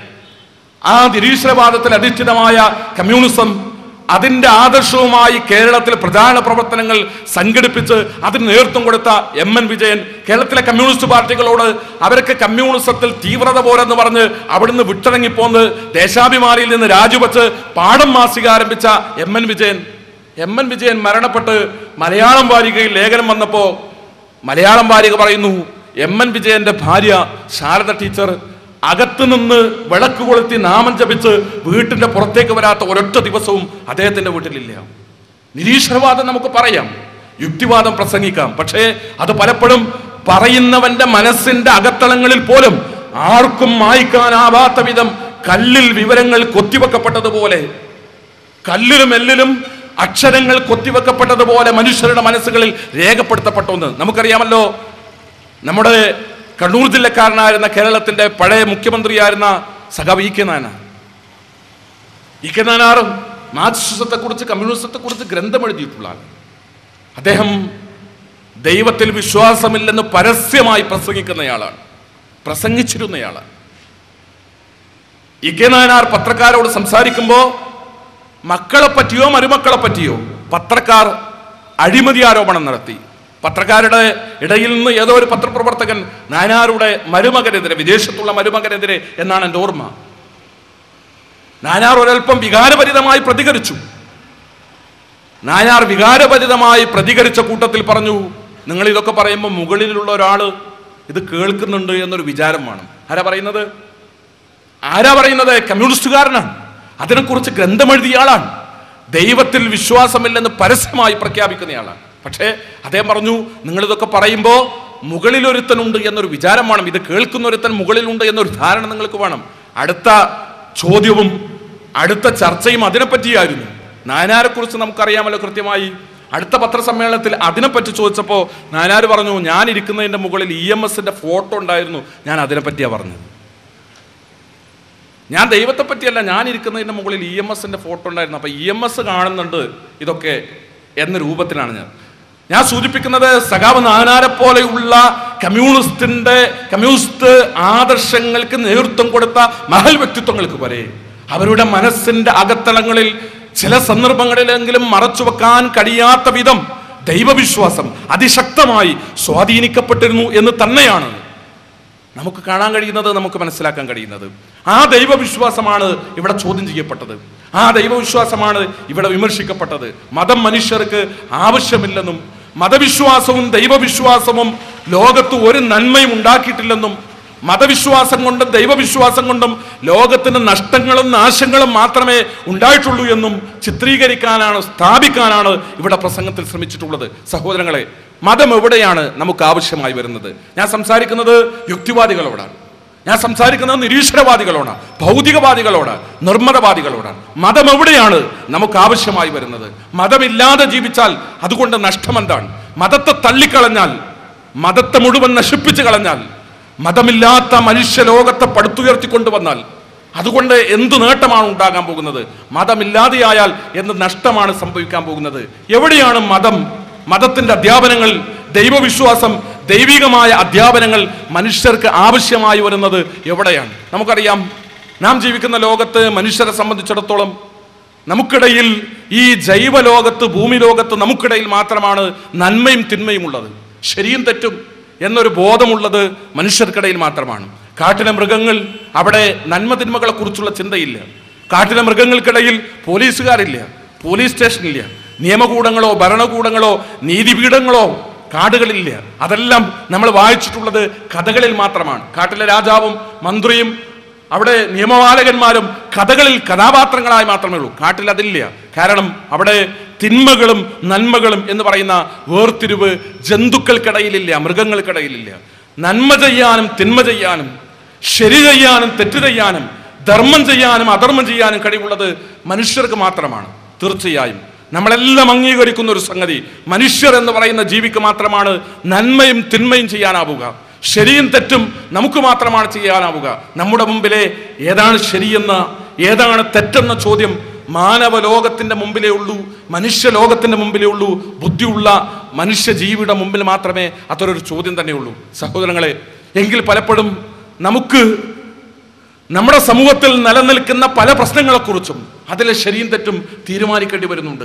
ശരിതെറ്റുകൾ എങ്ങനെ തീരുമാനിക്കണം? ശരിതെറ്റുകൾ തീരുമാനിക്കാനുള്ള മാനദണ്ഡം എന്താണ് ഏതാണ് നന്മയെന്നും ഏതാണ് തിന്മയെന്നും തീരുമാനിക്കാനുള്ള മാനദണ്ഡം എന്താണ് യുക്തിവാദികളെ സംബന്ധിച്ചിടത്തോളം ശരിതെറ്റുകൾ തീരുമാനിക്കാനുള്ള മാനദണ്ഡം കൃത്യമായി അവർ വിശദീകരിച്ചിട്ടുണ്ട്. യുക്തിവാദികൾ യുക്തിവാദികളെ കുറിച്ച് പറയുമ്പോൾ നമ്മൾ എന്തുദ്ധരിച്ചാലും ആരുദ്ധരിച്ചാലും യുക്തിവാദവുമായി ബന്ധപ്പെട്ട ആര് ഉദ്ധരിച്ചാലും അദ്ദേഹത്തെയോ അദ്ദേഹത്തിന്റെ ഗ്രന്ഥത്തെയോ അംഗീകരിക്കുന്നില്ല ഞങ്ങൾ എന്ന് പറഞ്ഞ് യുക്തിവാദികൾ ഒളിഞ്ഞു മാറും എന്നത് അത് അവരുടെ കലാകാലങ്ങളിലെ രീതിയാണ് എന്നുള്ളത് ആമുഖമായി ഓർമ്മപ്പെടുത്തിക്കൊണ്ട് തന്നെ ഇന്ത്യ രാജ്യത്തെ അറിയപ്പെട്ട യുക്തിവാദ പ്രസ്ഥാനത്തിന് കാലങ്ങളോളം നേതൃത്വം നൽകിയ യുക്തിവാദികൾക്കിടയിലെ എക്കാലഘട്ടത്തിലെയും ബുദ്ധിജീവിയായി അറിയപ്പെട്ട ഇടമറുകിന്റെ യുക്തിവാദവുമായി ബന്ധപ്പെട്ട പുസ്തകത്തിൽ നിന്നാണ് ഞാൻ എന്താണ് യുക്തിവാദികൾക്ക് ശരിയും തെറ്റും തീരുമാനിക്കാനുള്ള മാനദണ്ഡം? അത് അദ്ദേഹം അദ്ദേഹത്തിന്റെ ഗ്രന്ഥത്തിൽ എഴുതി വച്ചിട്ടുണ്ട്. യുക്തിവാദത്തെക്കുറിച്ച് അദ്ദേഹം എഴുതിയ പുസ്തകത്തിൽ അതിന്റെ രണ്ടാം ഭാഗത്തിൽ ഇരുപത്തിനാല് ഇരുപത്തിയഞ്ച് പേജുകളിൽ ശരിയും തെറ്റും തീരുമാനിക്കാനുള്ള യുക്തിവാദിയുടെ മാനദണ്ഡം പഠിപ്പിക്കുകയാണ്. ഏതെങ്കിലും ഒരാശയത്തെ കണ്ണുമടച്ച് എതിർക്കുകയോ കണ്ണുമടച്ച് സ്വീകരിക്കുകയോ ചെയ്യാൻ യുക്തിവാദികൾക്ക് സാധ്യമല്ല. ഏതെങ്കിലും ഒരാശയത്തെ കണ്ണടച്ച് എതിർക്കാനോ കണ്ണടച്ച് സ്വീകരിക്കാനോ യുക്തിവാദികൾക്ക് സാധ്യമല്ല. ആശയങ്ങളെ യുക്തി ചിന്ത കൊണ്ട് അപഗ്രഥിച്ച് അതിലെ തെറ്റും ശരിയും വേർതിരിച്ചെടുക്കുകയാണ് യുക്തിവാദികൾ ചെയ്യുന്നത്. ഏത് നൂതനമായ ആശയമായാലും യുക്തിവാദി അതിനെ പരിശോധനാ വിധേയമാക്കും. പഴയ ആശയങ്ങളുടെ കാര്യത്തിലും ഇത് തന്നെയാണ് യുക്തിവാദികളുടെ നിലപാട്. യുക്തി ചിന്തയാകുന്ന മൂശയിൽ വെച്ച് ഏത് ആശയത്തെയും അവർ ഉരുക്കും. നല്ലത് എവിടെ നിന്ന് കിട്ടിയാലും സ്വീകരിക്കും. അവർ യുക്തിവാദികൾ. ശരിയും തെറ്റും തീരുമാനിക്കുന്നത് അവനവന്റെ യുക്തി വെച്ചുകൊണ്ടാണ്. അവനവന്റെ ബുദ്ധി വെച്ചുകൊണ്ടാണ്. ശരി. എന്റെ പ്രിയപ്പെട്ട യുക്തിവാദികളെ ബുദ്ധിയുള്ള യുക്തിവാദികളെ ചിന്തിക്കുന്ന യുക്തിവാദികളെ ആലോചിച്ച് തീരുമാനമെടുക്കുന്ന യുക്തിവാദികളെ ആശയങ്ങളെ കണ്ണടച്ചുകൊണ്ട് അനുകൂലിക്കുകയോ കണ്ണടച്ചുകൊണ്ട് എതിർക്കുകയോ ചെയ്യാത്ത എന്റെ ബഹുമാനരായ യുക്തിവാദികളെ വിനീതമായി ഞാൻ ചോദിക്കുന്നത് മനുഷ്യന്റെ ബുദ്ധിക്ക് ശരി തെറ്റുകൾ തീരുമാനിക്കാനാവുമോ? ആത്യന്തികമായി. മനുഷ്യന്റെ ചിന്തക്ക് ശരിതെറ്റുകൾ തീരുമാനിക്കാനാവുമോ? ആത്യന്തികമായി സദാചാരത്തെക്കുറിച്ചും ധാർമ്മികതയെക്കുറിച്ചും മൂല്യത്തെക്കുറിച്ചും യുക്തിവാദികളുടെ നിലപാട് പലപ്പോഴും പല രാജ്യത്തും പല വ്യക്തികൾക്കും പല യുക്തിവാദികൾക്കും പല പ്രസ്ഥാനങ്ങൾക്കും പല പ്രസിദ്ധീകരണങ്ങൾക്കും വേറെ വേറെ വിധത്തിലാണ്. ഏതായിരുന്നാലും മൊത്തം സമൂഹത്തിന്റെ സദാചാരത്തെക്കുറിച്ചുള്ള കാഴ്ചപ്പാട് വെച്ചുകൊണ്ട് ഞാൻ ചില ചോദ്യങ്ങൾ ചോദിക്കുകയാണ്. നമുക്കറിയാം സ്വവർഗരതി ഒരു തിന്മയായി കണക്കാക്കുന്നു ലോകം. യുക്തിവാദികളിൽ തന്നെ ലോകത്ത് അറിയപ്പെട്ട പലരും സ്വവർഗരതിയെ എതിർത്തിട്ടുള്ള ആളുകളുണ്ട്. സ്വവർഗരതി തെറ്റാണ് തിന്മയാണ് പ്രകൃതി വിരുദ്ധമാണ്. ജൈവലോകത്തും മൃഗങ്ങൾക്കിടയിൽ എവിടെയും ആണും ആണും തമ്മിലും പെണ്ണും പെണ്ണും തമ്മിലും മൃഗങ്ങളിൽ മൃഗങ്ങളിലെ ആണുമാണും മൃഗങ്ങളിലെ പെണ്ണും പെണ്ണും അത്തരത്തിൽ ലൈംഗികമായ സെക്സ് ബന്ധങ്ങൾ നമുക്ക് കാണാൻ കഴിയില്ല. അതുകൊണ്ട് അത് പ്രകൃതി വിരുദ്ധമാണ്. ആണും ആണും തമ്മിലും പെണ്ണും പെണ്ണും തമ്മിലും എന്റെ ജില്ലയിൽ പാലക്കാട് ജില്ലയിൽ ആലത്തൂരിൽ ബിരുദം കഴിഞ്ഞ രണ്ട് പെൺകുട്ടികൾ കോളേജ് വിദ്യാഭ്യാസം പൂർത്തിയാക്കി ഒന്നാം ക്ലാസ് മുതൽ ഒരുമിച്ച് പഠിച്ച് കോളേജ് വിദ്യാഭ്യാസം പൂർത്തിയാക്കിയ രണ്ട് പെൺകുട്ടികൾ. അവർ ബിരുദം കഴിഞ്ഞതിന് ശേഷം ഒരുമിച്ച് ജീവിക്കാൻ തീരുമാനിച്ചു. ഒരുമിച്ചുള്ള ജീവിതം എന്ന് പറയുന്നത് കൂട്ടുകാരികളായിട്ടല്ല. മനസ്സും ശരീരവും പരസ്പരം പങ്കുവച്ച് ദമ്പതിമാരെ പോലെ ആളുകൾക്കിടയിൽ ചർച്ചയായി വിവാദമായി പത്രങ്ങളിൽ വന്നു ടി വി ചാനലുകളിൽ ദൃശ്യമാധ്യമങ്ങളിൽ വന്നു. ഈ രണ്ട് പെൺകുട്ടികളും ചോദിച്ചൊരു ചോദ്യമുണ്ട്. ഞാൻ ആ ചോദ്യം ഇവിടുത്തെ യുക്തിവാദികളോട് ആവർത്തിക്കുകയാണ്. അവർ ചോദിച്ചു എന്തുകൊണ്ട്? എന്തുകൊണ്ടാണ് ഞങ്ങളുടെ കുടുംബം ഇതിനെ എതിർക്കുന്നത്? എന്തുകൊണ്ട് ഞങ്ങളുടെ മാതാപിതാക്കൾ ഇതിനെ എതിർക്കുന്നു? എന്തുകൊണ്ട് ഈ സമൂഹം ഇതിനെ എതിർക്കുന്നു? ഇതെന്തുകൊണ്ട് നന്മയല്ല? ഇതെന്തുകൊണ്ട് തെറ്റ്? പാരമ്പര്യമായി കാലാകാലങ്ങളിൽ മനുഷ്യർ ചെയ്തു വന്ന ഒരു രീതിക്ക് വിരുദ്ധമായി ഞങ്ങൾ ചെയ്തു എന്നത് മാത്രമാണോ ഇത് തെറ്റാകാനുള്ള കാരണം? ഇത് തെറ്റെന്ന് പറയാനുള്ള മാനദണ്ഡം എന്താ? എന്തുകൊണ്ട് ഒരു പെണ്ണും പെണ്ണും തമ്മിൽ ലൈംഗിക ബന്ധങ്ങൾ ആയിക്കൂടാ പരസ്പരം ഞങ്ങൾ ഞങ്ങളെപ്പറ്റിയും ഞങ്ങളുടെ സെക്സ് ലൈഫിനെ കുറിച്ചും സംതൃപ്തരാണെങ്കിൽ ലോകം എന്തിന് ഞങ്ങളുടെ സ്വകാര്യതയിൽ ഇടപെടുന്നു? രണ്ട് പെൺകുട്ടികളുടെ നിഷ്കളങ്കമായ ചോദ്യം. അവർക്ക് യുക്തിവാദമില്ല അവർക്ക് നിരീശ്വരത്വമില്ല. അവർ മതത്തെക്കുറിച്ചോ മതത്തെ എതിർത്തോ മതത്തെ അനുകൂലിച്ചോ അല്ല അവർ പറയുന്നത്. ആ രണ്ട് പെൺകുട്ടികൾ അവരുടെ യുക്തി വെച്ചും അവരുടെ ബുദ്ധി വെച്ചും അവരൊരു തീരുമാനമെടുത്തിട്ട് അവർ ലോകത്തോട് ചോദിക്കുന്നു ഞങ്ങൾ ചെയ്തത് എങ്ങനെ തെറ്റാകും? എന്റെ പ്രിയപ്പെട്ട യുക്തിവാദികളെ രണ്ട് ബിരുദം കഴിഞ്ഞ പെൺകുട്ടികളുടെ വീക്ഷണത്തിൽ സ്വവർഗരതി നന്മയാണ്. നിങ്ങളത് തിന്മയാണെന്ന് പറയുമോ? നമുക്കത് തിന്മയാണെന്ന് പറയാൻ പറ്റുമോ? രണ്ട് പെൺകുട്ടികൾക്ക് നന്മയാകുന്നത് അതേ നാട്ടിൽ ജീവിക്കുന്ന മറ്റു നാട്ടുകാർക്ക് തിന്മയാകുന്നു. ഒരു വീട്ടിലെ മകൾക്ക് തിന്മയാകുന്നത് മകൾക്ക് നന്മയാകുന്നത് അച്ഛനും അമ്മക്കും തിന്മയായി തോന്നുന്നു.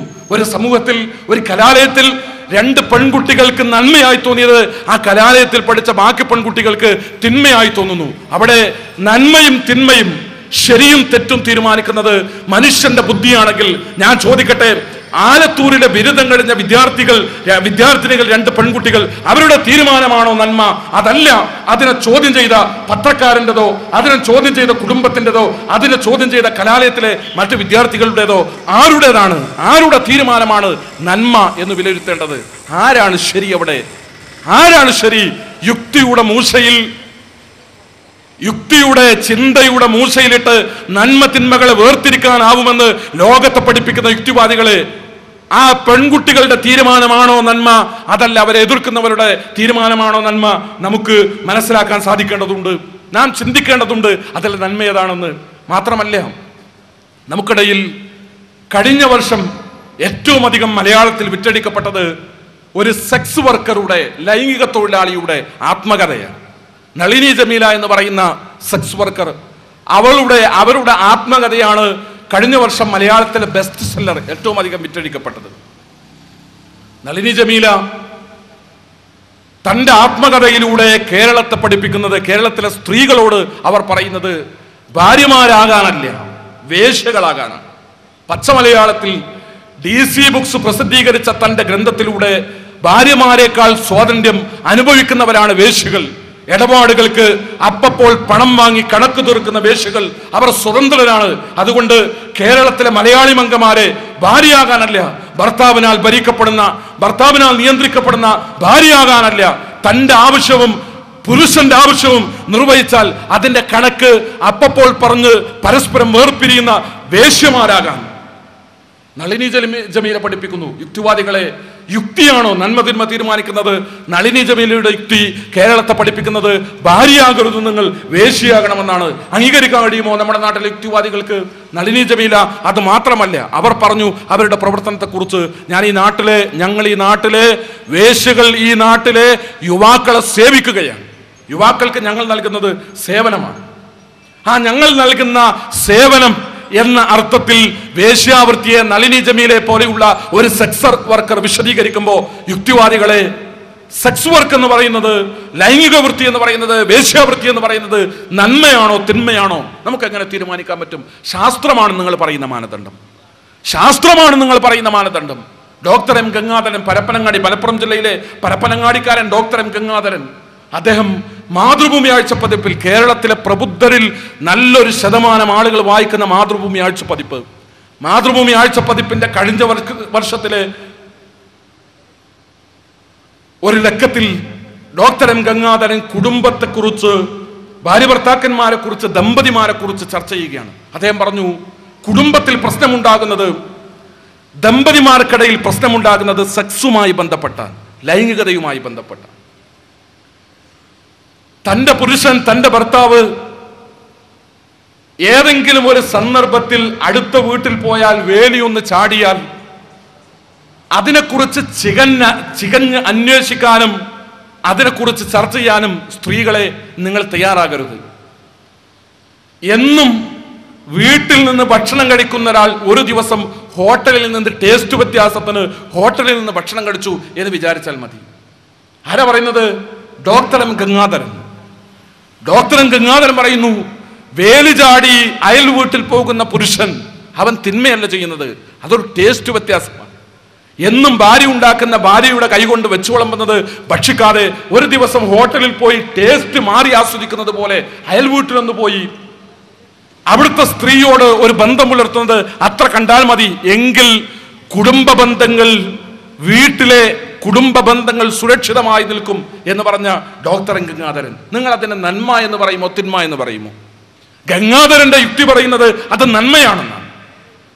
നളിനി ജമീലയുടെ യുക്തി പറയുന്നത് വേശ്യാവൃത്തി നന്മയെന്നാണ്. ആലത്തൂരിലെ പെൺകുട്ടികളുടെ യുക്തി പറയുന്നത് സ്വവർഗരതി നന്മയെന്നാണ്. ഇവിടെ യുക്തിയാണോ മാനദണ്ഡം? യുക്തി മാനദണ്ഡം വെച്ചുകൊണ്ടാണ് തീരുമാനങ്ങൾ നടക്കുന്നതെങ്കിൽ യുക്തി മാനദണ്ഡം വെച്ചുകൊണ്ടാണ് മനുഷ്യന്റെ ബുദ്ധി മാനദണ്ഡം വെച്ചുകൊണ്ടാണ് തീരുമാനം നടക്കുന്നതെങ്കിൽ ഇതെല്ലാം നന്മയാകണമായിരുന്നു. ഇത് നന്മയല്ല. സ്വവർഗരതിയോ അതിരുവിട്ട ലൈംഗിക ജീവിതമോ ലൈംഗിക ആഭാസങ്ങളോ നന്മയാണെന്ന് ലോകത്ത് നമുക്കാർക്കും അഭിപ്രായമില്ല. സഹോദരങ്ങളെ അവിടെ ഒരുത്തന്റെ ബുദ്ധി രാജ്യവും അവന്റെ സ്വഭാവവും അവന്റെ വീടും ചുറ്റുപാടും ഒക്കെ മാറുന്നതനുസരിച്ച് നന്മ തിന്മകളിൽ കാഴ്ചപ്പാടുകളിൽ വ്യത്യാസം വരുന്നു. മലയാളത്തിൽ കേരളത്തിൽ അവിവാഹിതരായ ആൺകുട്ടിയും പെൺകുട്ടിയും കൗമാരപ്രായത്തിൽ യുവത്വപ്രായത്തിലുള്ള ആളുകൾ ഒരുമിച്ച് താമസിച്ചാൽ അത് നമുക്ക് തിന്മയാണ്. പതിനെട്ട് വയസ്സും ഇരുപത് വയസ്സുമുള്ള ആൺകുട്ടിയും പെൺകുട്ടിയും യുവാവും യുവതിയും ഒരു പത്തു ദിവസം എവിടെയെങ്കിലും പോയി യാത്ര ചെയ്തു വന്നാൽ ആ നാട്ടുകാർ മുഴുവൻ അതിനെ ഒരു വലിയ പ്രശ്നമായി ചർച്ച ചെയ്യും. പക്ഷേ പാശ്ചാത്യ രാജ്യങ്ങളിൽ പതിനെട്ട് വയസ്സായിട്ടും ഇരുപത് വയസ്സായിട്ടും ഒരു ബോയ് ഫ്രണ്ടോ ഗേൾ ഫ്രണ്ടോ ഇല്ലാത്ത കുട്ടികളെ മാതാപിതാക്കൾ മനോരോഗാശുപത്രിയിൽ കൊണ്ടുപോകും. പതിനെട്ട് വയസ്സായിട്ടും ഇരുപത് വയസ്സായിട്ടും തനിക്ക് ഒരാൺകുട്ടിയെയോ പെൺകുട്ടിയെയോ ഒരു കൂട്ടുകാരനായി എതിർലിംഗത്തെ കൂട്ടുകാരനായി സ്വീകരിക്കാത്ത മക്കളെ പാശ്ചാത്യ രാജ്യങ്ങളിൽ മനഃശാസ്ത്രജ്ഞന്റെ അടുത്ത് കൊണ്ടുപോകുന്നു. ആ കുട്ടിക്ക് എന്തെങ്കിലും രോഗമുണ്ടോ എന്ന് പരിശോധിക്കാം രാജ്യം മാറുമ്പോൾ രണ്ട് നന്മയാണ്. രാജ്യം മാറുമ്പോൾ രണ്ട് തരത്തിലാണ് തിന്മയെ കാണുന്നത്. ബുദ്ധിയാണോ മാനദണ്ഡം? യുക്തിയാണോ മാനദണ്ഡം? യുക്തിയും ബുദ്ധിയും മാനദണ്ഡം വെച്ചുകൊണ്ടാണ് മാർക്സ് ലോകത്ത് കമ്മ്യൂണിസം അവതരിപ്പിച്ചത്. നമുക്കറിയാം കഴിഞ്ഞ നൂറ്റാണ്ടിൽ ഈ ലോകത്ത് തന്നെ സ്വർഗമുണ്ടാക്കുന്നതിനു വേണ്ടി കമ്മ്യൂണിസ്റ്റ് മാനിഫെസ്റ്റോ കമ്മ്യൂണിസ്റ്റ് മാർക്സിസ്റ്റ് സിദ്ധാന്തങ്ങളുമായി മാർക്സ് കടന്നു വന്നു. മാർക്സ് നിങ്ങൾ വിമർശിച്ച നിങ്ങൾ ചോദ്യം ചെയ്ത മുഹമ്മദ് നബിയെ പോലെ നിരക്ഷരനായിരുന്നില്ല മാർക്സ്. മാർക്സിന് അക്ഷരാഭ്യാസം ഉണ്ടായിരുന്നു എന്നല്ല ലോകത്തെ അറിയപ്പെട്ട പന്ത്രണ്ട് ഭാഷകളിൽ അവഗാഹവും പാണ്ഡിത്യവും ഉണ്ടായിരുന്ന മഹാപണ്ഡിതനായിരുന്നു മാർക്സ് ലണ്ടനിലെ ബ്രിട്ടീഷ് മ്യൂസിയം ലൈബ്രറിയിൽ എന്നും രാവിലെ വന്ന് ഏറ്റവും അവസാനം ബ്രിട്ടീഷ് മ്യൂസിയം ലൈബ്രറിയിൽ നിന്ന് എഴുന്നേറ്റ് പോകുന്നത് മാർക്സ് ആയിരുന്നു. തന്റെ ജീവിതത്തിലെ സുദീർഘമായ നാൽപ്പത് വർഷത്തെ അധ്വാനവും പഠനവും ഗവേഷണവും ചിന്തയും മനനവും എല്ലാം സംഭാവന ചെയ്തുകൊണ്ടാണ് കമ്മ്യൂണിസ്റ്റ് സിദ്ധാന്തം മാർക്സിസം മാർക്സ് ലോകത്തിന് മുമ്പിൽ അവതരിപ്പിച്ചത്. പക്ഷേ ആ മാർക്സിസത്തെ കുറിച്ച് ഇന്ന് യുക്തിവാദികൾക്കുള്ള കാഴ്ചപ്പാടെന്താണ് മാർക്സിസ്റ്റ് സിദ്ധാന്തം ലോകത്തിന്റെ മുമ്പിൽ അവതരിപ്പിച്ച മാർക്സ് ബുദ്ധിജീവിയായിരുന്നു അറിവുണ്ടായിരുന്നു പണ്ഡിതനായിരുന്നു. കമ്മ്യൂണിസ്റ്റ് മാനിഫെസ്റ്റോ ലോകത്തിന്റെ മുമ്പിൽ അവതരിപ്പിച്ചുകൊണ്ട് മാർക്സ് ഒരു പ്രസംഗം നടത്തി. ആ പ്രസംഗത്തിൽ മാർക്സ് പറഞ്ഞു ലോകത്തിന്നേ വരെയുള്ള സകല ദർശനങ്ങളെയും പ്രത്യയശാസ്ത്രങ്ങളെയും ആശയങ്ങളെയും ആദർശങ്ങളെയും വിശകലനം ചെയ്ത് അതിൽ നിന്നെല്ലാം കടമെടുത്തും കടഞ്ഞെടുത്തുമാണ് മാർക്സിസം ഇത് ലോകത്തിന്റെ മുമ്പിൽ ഞാൻ സമർപ്പിക്കുന്നത്. അങ്ങനെ അവതരിപ്പിക്കപ്പെട്ട കമ്മ്യൂണിസം അങ്ങനെ അവതരിപ്പിക്കപ്പെട്ട മാർക്സിസം ആ മാർക്സിസത്തെ യുക്തിവാദികൾ തന്നെ വിലയിരുത്തിയപ്പോൾ ഇട സാക്ഷാൽ ഇടമറുക തന്നെ പറയുന്നു മാർക്സിസത്തിന് തെറ്റുപറ്റി മാർക്സിസം തെറ്റായിരുന്നു. അതിൽ അബദ്ധങ്ങളാണ് കാണാൻ കഴിയുന്നത് എന്ന് സാക്ഷാൽ ഇടമറിക തന്നെ മാർക്സിസത്തെ വിലയിരുത്തുന്നത് നമുക്ക് കാണാൻ കഴിയും. കമ്മ്യൂണിസ്റ്റ് പാർട്ടി കമ്മ്യൂണിസം മാർക്സിസം അത് സാമ്പത്തിക തത്വത്തിൽ അധിഷ്ഠിതമായി കാര്യങ്ങളെ മുഴുവൻ വിലയിരുത്തിയതിൽ ചരിത്രം മുഴുവൻ വൈരുദ്ധ്യാത്മകമാണ് എന്ന് വിലയിരുത്തിയതിൽ അബദ്ധങ്ങളുണ്ട് എന്ന് പറഞ്ഞുകൊണ്ട് അത് ഒരുപാട് പേജുകൾ വിശദീകരിച്ചുകൊണ്ട് ഇടമറുക പറയുന്നു ഇവിടെ ഇത്രയും വിശദീകരണം നൽകേണ്ടി വന്നത് ആശയങ്ങളല്ല സാമ്പത്തിക വ്യവസ്ഥിതിയാണ് മനുഷ്യ സമൂഹത്തെ നിയന്ത്രിക്കുന്നതെന്നുള്ള കമ്മ്യൂണിസ്റ്റ് സിദ്ധാന്തം തെറ്റാണെന്ന് കാണിക്കുവാൻ വേണ്ടി മാത്രമാണ്. ഇടമറുക പറയാണ് കമ്മ്യൂണിസ്റ്റ് സിദ്ധാന്തം തെറ്റാണ്. സാമ്പത്തികമായ ആശയങ്ങൾ അടിത്തറയാക്കി ലോകത്ത് പടുത്തുയർത്തപ്പെട്ട കമ്മ്യൂണിസ്റ്റ് സിദ്ധാന്തം തെറ്റാണ്. കമ്മ്യൂണിസ്റ്റുകാർക്ക് ഇന്നും വാദല്ല കമ്മ്യൂണിസ്റ്റുകാർ എന്തുകൊണ്ട് ലോകത്ത് കമ്മ്യൂണിസം പരാജയപ്പെട്ടു എന്ന ചോദ്യത്തിന് അത് സൈദ്ധാന്തികമായി പരാജയപ്പെട്ടിട്ടില്ല പ്രായോഗികമായി പരാജയപ്പെട്ടു എന്നാണ് കമ്മ്യൂണിസ്റ്റുകാർ പറയാറുള്ളത്. കമ്മ്യൂണിസ്റ്റുകാർ ലോകത്ത് ഇന്നും പറയുന്നത് റഷ്യയിൽ അല്ലെങ്കിൽ കമ്മ്യൂണിസം നടപ്പിലാക്കപ്പെട്ട ലോകത്തിന്റെ മൂന്നിലൊന്ന് ഭാഗം. അവിടെ മുഴുവൻ ഒരു പുരുഷായുസ് പോലും നിലനിൽക്കാനാവാതെ കമ്മ്യൂണിസം തകർന്നുകൂടും. ആ കമ്മ്യൂണിസം എന്തുകൊണ്ട് തകർന്നു എന്ന് വിശദീകരിക്കുന്നിടത്ത് സാധാരണ നിലയ്ക്ക് കമ്മ്യൂണിസ്റ്റുകാർ പറയാറുള്ളത് കമ്മ്യൂണിസം തകരാനുള്ള കാരണമായി കമ്മ്യൂണിസ്റ്റുകാർ വിശദീകരിക്കാറുള്ളത് ആശയപരമായ കാരണങ്ങളാലല്ല. അത് പ്രയോഗവൽക്കരിച്ചതിൽ കമ്മ്യൂണിസ്റ്റ് നേതാക്കന്മാർക്ക് പറ്റിയ പ്രായോഗികമായ തെറ്റുകളാണ് കമ്മ്യൂണിസത്തെ പരാജയപ്പെടുത്തിയതെന്ന്. കമ്മ്യൂണിസം അധികാരം കയ്യേറിയ രാജ്യങ്ങളിൽ അവിടുത്തെ ജനങ്ങൾ കമ്മ്യൂണിസത്തെ വലിച്ചെറിഞ്ഞു എന്ന് മാത്രമല്ല. ആയിരത്തി തൊള്ളായിരത്തി എൺപത്തി എട്ടിൽ ബുഡാപെസ്റ്റിലെ ജനങ്ങൾ സ്വാതന്ത്ര്യത്തിനു വേണ്ടി തെരുവിലിറങ്ങിയപ്പോൾ ആദ്യം തകർത്തത് സഖാവു ലെനിന്റെ പ്രതിമയാണ്. ലെനിന്റെ പ്രതിമയെ തല്ലി തകർത്തുകൊണ്ട് കമ്മ്യൂണിസത്തോടുള്ള പ്രതിഷേധം പ്രകടിപ്പിച്ച ആ നാട്ടിലെ പൗരന്മാർ സർഷിൻസ്കിയുടെ പ്രതിമ ചുറ്റിക കൊണ്ട് തല്ലിത്തകർത്ത് അതിൽ നിന്ന് കൽച്ചീളുകൾ പെറുക്കിയെടുത്ത് സ്മാരകമായി സൂക്ഷിക്കുന്നതിന് കൊണ്ടുപോകുമ്പോൾ ഇന്ത്യയിൽ നിന്ന് ചെന്ന് കണ്ട പത്രക്കാരനോട് ഡേവിഡ് ലിയാനോവ് എന്ന് പറയുന്ന ആ നാട്ടിലെ പൗരൻ ഇന്ത്യയിലെ പത്രക്കാരനോട് പറഞ്ഞു നിങ്ങൾ ഈ കല്ലുകൾ ഇന്ത്യയിലേക്ക് കൊണ്ടുപോകണം. എന്നിട്ട് അവിടുത്തെ കമ്മ്യൂണിസ്റ്റുകാരെ സെഷൻസ്കിയുടെയും ലെനിന്റെയും പ്രതിമകളിൽ നിന്ന് ഞങ്ങൾ ചുറ്റിക കൊണ്ട് അടർത്തിയെടുത്ത കൽച്ചീളുകൾ ഇന്ത്യയിൽ കൊണ്ടുപോയി ഇന്ത്യയിലെ കമ്മ്യൂണിസ്റ്റുകാരെ നിങ്ങൾ ഈ കല്ലുകൾ കൊണ്ട് അവിടെ നിന്ന് എറിഞ്ഞാട്ടി ഓടിക്കണം. കാരണം മനുഷ്യർ കഷ്ടപ്പെടുന്നിടത്താണ് കമ്മ്യൂണിസം വളരുക എന്ന് നിങ്ങൾക്കറിയില്ലേ?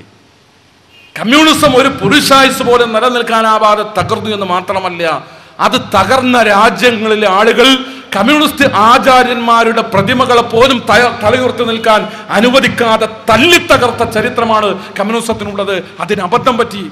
പക്ഷേ മാർക്സിന് ബുദ്ധി ഉണ്ടായിരുന്നു മാർക്സിന് യുക്തി ഉണ്ടായിരുന്നു മാർക്സ് ചിന്തിച്ചിരുന്നു. മാർക്സ് പഠിച്ചിരുന്നു. മാർക്സിന് അറിവുണ്ടായിരുന്നു.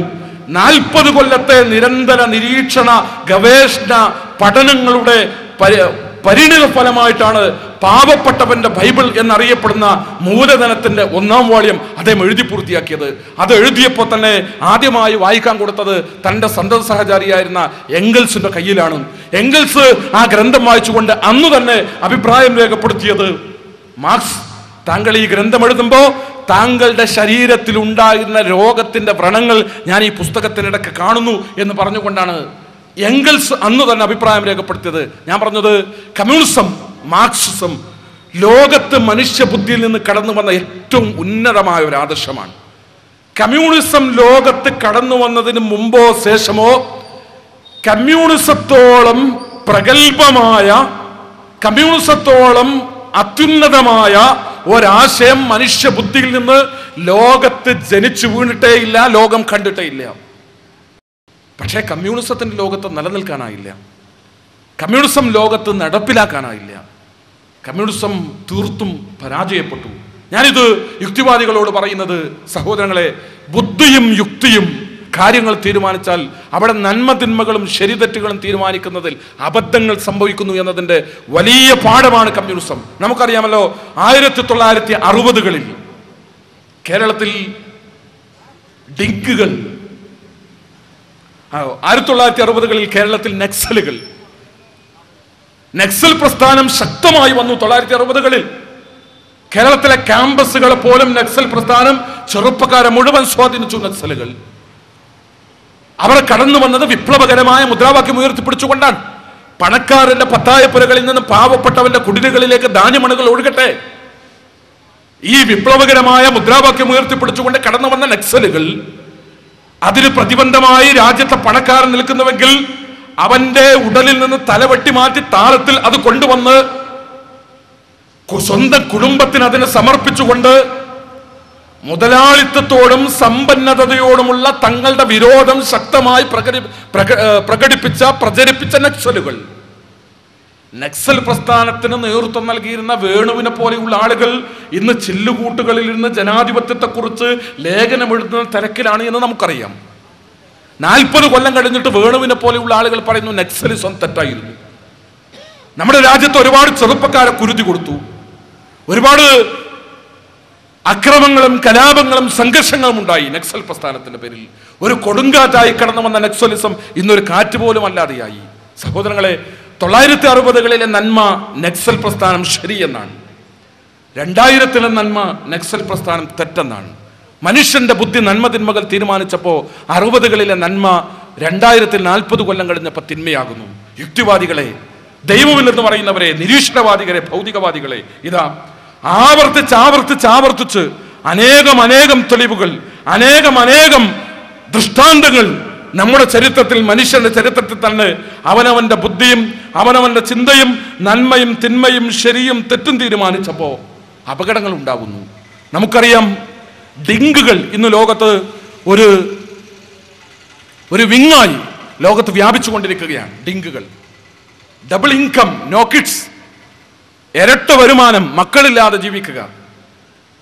ഡിങ്കുകൾ ഇരട്ട വരുമാനം മക്കളില്ലാതെ ജീവിക്കുക. ഭാര്യമാർ പ്രസവിക്കേണ്ടതില്ല. അടുത്ത തലമുറ ഉണ്ടാകേണ്ടതില്ല.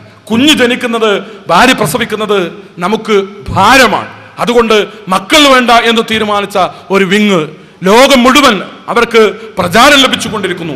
ഇന്ത്യയിലെ പോലും പ്രസിദ്ധ നഗരങ്ങളിൽ ഡിങ്കുകൾക്ക് മെമ്പർഷിപ്പ് ഡിങ്കുകളുടെ കൂട്ടത്തിലേക്ക് മെമ്പർമാർ ചേർന്നുകൊണ്ടിരിക്കുന്നു. മക്കളില്ലാതെ സ്വതന്ത്രമായി ജീവിക്കണം എന്നാഗ്രഹിക്കുന്നവർ എന്റെ സുഖത്തിനും എന്റെ സന്തോഷത്തിനും എന്റെ സൗകര്യങ്ങൾക്കും എന്റെ മക്കൾ തന്നെ തടസ്സമാണ് എന്ന് തീരുമാനിച്ച മക്കളെ വേണ്ടെന്ന് വെക്കുന്നവർ. അവിടെ നന്മ തിന്മ തീരുമാനിക്കുമോ നാം?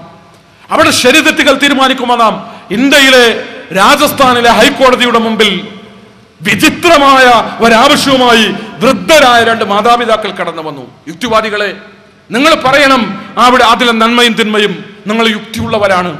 നിങ്ങൾ പറയണം അതിലെ ശരിയും തെറ്റും നിങ്ങൾ ബുദ്ധിയുള്ളവരാണ്. നിങ്ങൾ പറയണം അതിലെ ന്യായവും അന്യായവും നിങ്ങൾ യുക്തിയുടെ മൂശയിലിട്ട് കാര്യങ്ങളെ കൃത്യമായി വ്യവച്ഛേദിച്ച് മനസ്സിലാക്കുന്ന ആളുകളാണ്. രാജസ്ഥാനിലെ ഹൈക്കോടതിയുടെ മുമ്പിൽ വന്ന് പച്ചമുള പൊട്ടിക്കിറുന്നത് പോലെ നിലവിളിച്ചുകൊണ്ട് വൃദ്ധരായ മാതാപിതാക്കൾ അവർ ഹൈക്കോടതിയോട് രാജസ്ഥാനിലെ ഹൈക്കോടതിയോട് പറഞ്ഞു ദയവുണ്ടായി ബഹുമാനപ്പെട്ട കോടതി ഞങ്ങളുടെ മരുമകളോട് പ്രസവിച്ചു തരാൻ ആവശ്യപ്പെടുന്നു ഞങ്ങളുടെ മരുമകളോടൊന്ന് പ്രസവിക്കാൻ ആവശ്യപ്പെടുന്നു കാരണം എന്താണെന്നോ? ആകെ ഉണ്ടായിരുന്ന മകൻ ഏക മകൻ അവൻ ബൈക്ക് ആക്സിഡന്റ് പറ്റി മരണപ്പെട്ടു. ഇനി ഞങ്ങളുടെ പ്രതീക്ഷ എന്ന് പറയുന്നത് അവന്റെ ചോരയായി അവന്റെ ഭാര്യയുടെ ഉദരത്തിൽ വളരുന്ന കുഞ്ഞാണ് ചെറിയ പൈതൽ. അതിനെയാണ് ഞങ്ങൾ പ്രതീക്ഷിക്കുന്നത്. പക്ഷേ ഭർത്താവ് മരണപ്പെട്ടതോടുകൂടി അവന്റെ ഭാര്യ തീരുമാനിച്ചിട്ടുള്ളത് ഒരു അനാഥ കുഞ്ഞിന് ജന്മം കൊടുക്കാതെ ഗർഭാശയത്തിൽ വെച്ച് തന്നെ അതിനെ നശിപ്പിച്ച് കളയണമെന്നാണ്. ആ സ്ത്രീ ഭാര്യ ഭർത്താവ് മരണപ്പെട്ട സ്ത്രീ അവരുടെ വീക്ഷണ പ്രകാരം നന്മ അനാഥ കുഞ്ഞ് ലോകത്ത് ജനിക്കേണ്ടതില്ല. അച്ഛനാരെന്ന് ചോദിക്കുമ്പോൾ ചൂണ്ടിക്കാണിക്കാൻ ഒരാണില്ലാത്ത ഒരു അനാഥ എന്റെ മകനായി ലോകത്ത് പുറന്നു വീഴേണ്ടതില്ല എന്ന് തീരുമാനിച്ച യുവതി ഗർഭാശയത്തിൽ വെച്ച് തന്നെ അതിനെ നശിപ്പിച്ചു കളയുന്നു. പക്ഷെ വൃദ്ധരായ മാതാപിതാക്കൾ പറയുന്നു ഞങ്ങളിൽ പണമുണ്ട് ഞങ്ങളുടെ കൈകളിൽ സൗകര്യങ്ങളുണ്ട്. ആ കുട്ടിയെ പോറ്റാൻ അവർ വേണ്ടതെല്ലാം ചെയ്യാൻ ദയവുണ്ടായി അതിനൊന്ന് പ്രസവിച്ചു തരാൻ. യുക്തിവാദികളെ ഭൗതികവാദികളെ നന്മയും തിന്മയും സ്വന്തം ബുദ്ധി കൊണ്ടും യുക്തി കൊണ്ടും തീരുമാനിക്കാമെന്ന് പരം പെരുമ്പറയടിക്കുന്ന എന്റെ പ്രിയപ്പെട്ട സഹോദരങ്ങളെ ആ സ്ത്രീ പ്രസവിക്കണോ? ഒരു കുഞ്ഞിന് ജന്മം കൊടുക്കണോ? അതാണോ നന്മ? അതിന്റെ മാനദണ്ഡം എന്താണ്? അത് നന്മ എന്ന് പറയാൻ അതിന്റെ മാനദണ്ഡം എന്താണ്? ആ സ്ത്രീയുടെ യുക്തി അത് തിന്മ എന്നാണ് പറയുന്നത്. മാതാപിതാക്കളുടെ യുക്തി പറയുന്നത് അത് നന്മ എന്നാണ്. ഇവിടെ മനുഷ്യന്റെ യുക്തിക്കും ബുദ്ധിക്കും നന്മ തിന്മകൾ തീരുമാനിക്കാനാവുന്നില്ല. നേരം പുലരുന്നത് വരെ അനേകം അനേകം ഉദാഹരണങ്ങളിലൂടെ അമേരിക്കയിലെ ബുദ്ധിജീവികൾക്കിടയിലും പത്രപ്രവർത്തകന്മാർക്കിടയിലും ഒരു സർവേ. ഒരു വലിയ കെട്ടിടം തകർന്നു വീഴാൻ പോകുന്നു. ആ കെട്ടിടം തകർന്നു വീഴുമ്പോൾ രണ്ട് നഷ്ടങ്ങൾ സംഭവിക്കും. ഒന്ന് ആ കെട്ടിടത്തിലുള്ള കുറച്ച് കുട്ടികൾ അവർ മരണപ്പെടും. രണ്ട് അമൂല്യമായ ഒരു പ്രതിമയുണ്ട് ആ കെട്ടിടത്തിൽ. അതും നശിക്കും. ഇതിൽ രണ്ടിൽ ഏതെങ്കിലും ഒന്നിനെ രക്ഷപ്പെടുത്താൻ മാത്രമേ സമയമുള്ളൂ. ഒന്നുകിൽ ആ പ്രതിമയെ രക്ഷപ്പെടുത്താം അല്ലെങ്കിൽ ആ കുട്ടികളെ രക്ഷപ്പെടുത്താം. നിങ്ങൾ ഇതിൽ ഏതിന് പ്രാധാന്യം കൊടുക്കുമെന്ന് പറഞ്ഞപ്പോ എൺപത് ശതമാനം സർവേയിൽ പങ്കെടുത്ത ആളുകളും പറഞ്ഞത് ആ പ്രതിമയെ രക്ഷപ്പെടുത്തണമെന്നാണ്. കാരണം കുട്ടികളെ ഇനിയും ജനിപ്പിക്കാം. ഒരു പ്രതിമ ഇനി അപ്രകാരം അമൂല്യമായ ചരിത്രത്തിലേറെ ചരിത്രത്തിലേറെ ലോകത്തോട് സംസാരിക്കാനുള്ള അതുപോലെ ഒരു പ്രതിമ ഒരുപക്ഷെ ഇനി ഉണ്ടായിക്കൊള്ളണമെന്നില്ല. അതുകൊണ്ട് കുട്ടികളെയല്ല ആ പ്രതിമയെ ഞങ്ങൾ രക്ഷപ്പെടുത്തും എന്ന് സർവേയിൽ അഭിപ്രായം രേഖപ്പെടുത്തിയവന്റെ യുക്തി മനുഷ്യൻ മനുഷ്യൻ അവൻ ജീവിക്കുന്നതിനേക്കാൾ ഒരു പ്രതിമ ജീവിക്കണം എന്നാണ്. കഴിഞ്ഞ ആഴ്ച ഞാനും നിങ്ങളും പത്രത്തിൽ വായിച്ചു. മുത്തച്ഛനെ അച്ഛന്റെ ജ്യേഷ്ഠനെ ചെറുപ്പക്കാരൻ തെങ്ങിന്റെ മട്ടലുകൊണ്ട് തലക്കടിച്ചു പരിക്കേൽപ്പിച്ചു. കാരണം എന്താണെന്നോ? അവൻ വളർത്തുന്ന നായയെ മുത്തച്ഛൻ ഉപദ്രവിച്ചു പത്രേ തന്റെ നായയെ ഉപദ്രവിച്ചതിന് പകരമായി അച്ഛന്റെ ജ്യേഷ്ഠന്റെ തലക്കടിക്കണം എന്ന് തീരുമാനിക്കുന്നത് ഒരു ചെറുപ്പക്കാരന്റെ യുക്തിയാണ്. അത് നന്മ എന്ന് നിങ്ങൾ പറയുമോ? ഇവിടെ നന്മയും തിന്മയും മനുഷ്യന്റെ ബുദ്ധിയും മനുഷ്യന്റെ യുക്തിയും മനുഷ്യന്റെ ചിന്തയും ഏതേത് കാലഘട്ടങ്ങളിൽ തീരുമാനിച്ചുവോ അവിടങ്ങളിലെല്ലാം അബദ്ധങ്ങൾ ഉണ്ടായി ഇവിടെയാണ് ഇസ്ലാം ലോകത്തോട് സംസാരിക്കുന്നത്. മനുഷ്യരുടെ ബുദ്ധിയല്ല മനുഷ്യരുടെ ചിന്തയല്ല. നിങ്ങൾ തീരുമാനിച്ചിട്ടല്ല ശരിയും തെറ്റും തീരുമാനിക്കേണ്ടത്. നിങ്ങളെ സൃഷ്ടിച്ച നിങ്ങളെ സൃഷ്ടിച്ച കൈകളും കാലുകളും കണ്ണും കാതും മനസ്സും ശരീരവും മനുഷ്യരെ നിങ്ങൾക്ക് തന്ന പ്രപഞ്ചത്തിന്റെ രക്ഷിതാവ്. അവനാണ് ശരിതെറ്റുകൾ തീരുമാനിക്കേണ്ടത്. ആ ശരിതെറ്റുകൾ തീരുമാനിക്കാൻ അവൻ നിങ്ങൾക്ക് അവതരിപ്പിച്ചു തരുന്നതാണ് വേദഗ്രന്ഥങ്ങൾ. ആ വേദഗ്രന്ഥങ്ങളിലെ മാർഗദർശനങ്ങൾ അനുസരിച്ചുകൊണ്ട് ആർ ജീവിക്കുന്നുവോ? അവർക്കാണ്. ആ മാർഗദർശനങ്ങൾ ആര് ഉൾക്കൊള്ളുന്നുവോ? അവർക്കാണ് വിജയമുണ്ടാവുക. ആ മാർഗദർശനങ്ങൾ ആര് തള്ളിക്കളയുന്നുവോ? അവർക്കാണ് പരാജയം ഉണ്ടാകുക. അത് പറഞ്ഞപ്പോഴാണ് യുക്തിവാദികൾക്ക് വലിയ പ്രയാസം ഉണ്ടായത്. അത് പറഞ്ഞിടത്താണ് യുക്തിവാദികൾക്ക് ഒരു നിലക്കും ഉൾക്കൊള്ളാൻ കഴിയാത്തത്. അതുമായി ബന്ധപ്പെട്ടാണ് അനേകം ആരോപണങ്ങൾ ഇവിടെ ഉന്നയിക്കപ്പെട്ടിട്ടുള്ളത്. നമുക്കറിയാം മനുഷ്യൻ നന്മയും തിന്മയും ചെയ്യാൻ അതിന്റെ തീരുമാനമെടുക്കുന്നത് അള്ളാഹു തന്നെയാണ്. പിന്നെ എങ്ങനെയാണ് തെറ്റ് ചെയ്യണോ ശരി ചെയ്യണോ എന്ന് അള്ളാഹു തന്നെ തീരുമാനിച്ചിട്ട് ഭൂമിയിലേക്ക് നാം സൃഷ്ടിക്കപ്പെട്ടാൽ തെറ്റ് ചെയ്യാനും തിന്മ നന്മ ചെയ്യാനും നമ്മൾ തെരഞ്ഞെടുക്കുക എന്ന് പറയുന്നതിൽ എന്ത് യുക്തിയാണുള്ളത്? നമുക്കറിയാം മനുഷ്യൻ നന്മയും തിന്മയും ചെയ്യാൻ അതിന്റെ തീരുമാനമെടുക്കുന്നത് അള്ളാഹു തന്നെയാണ്. പിന്നെ എങ്ങനെയാണ്?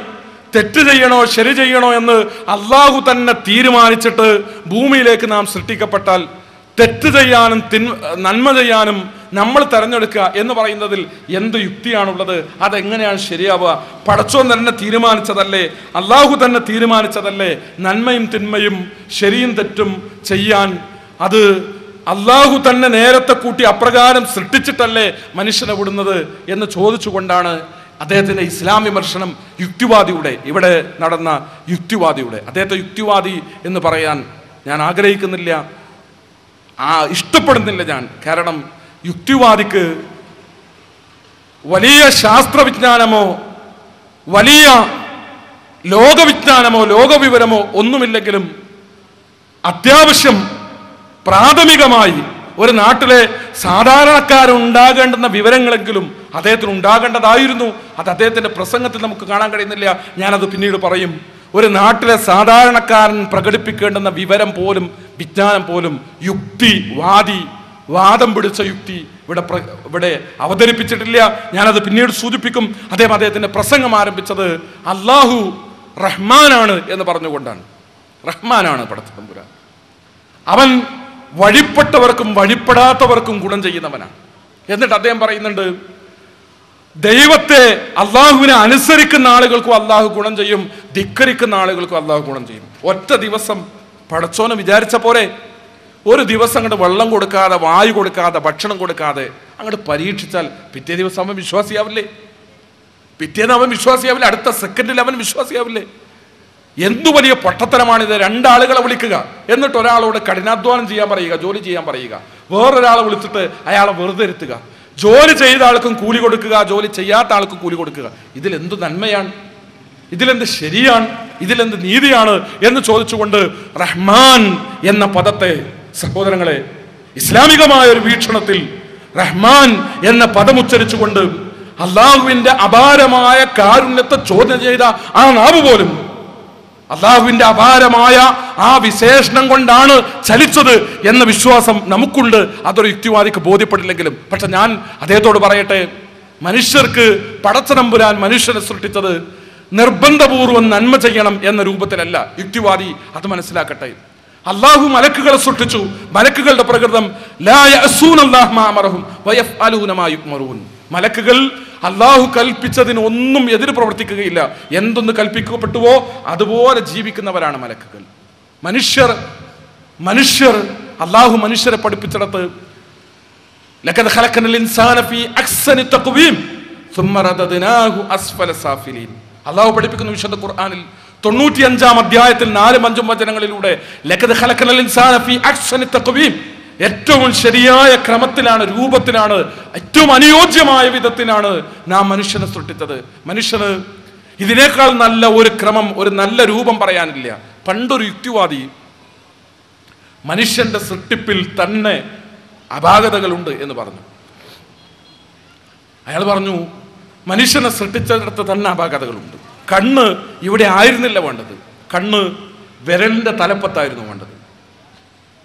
വിരൽ തലപ്പത്ത് കണ്ണുണ്ടായിരുന്നെങ്കിൽ നല്ല സൗകര്യമല്ലേ മതിലിന്റെ അപ്പുറത്തേക്ക് നോക്കാൻ പുസ്തകം വായിക്കാൻ എന്തു സൗകര്യമാണ് വിരൽ തലപ്പത്ത് കണ്ണു വച്ചാൽ. അത് പറഞ്ഞ അദ്ദേഹം ഒരു വേൽ കിടക്കുന്ന സമയത്ത് കൈ പോറലേറ്റ് കൈ വിരലിന്റെ അഗ്രത്തുനിന്ന് ചോര വന്നപ്പോൾ അദ്ദേഹം പറഞ്ഞു അത്ര ദൈവം ബുദ്ധിമാനാണ്.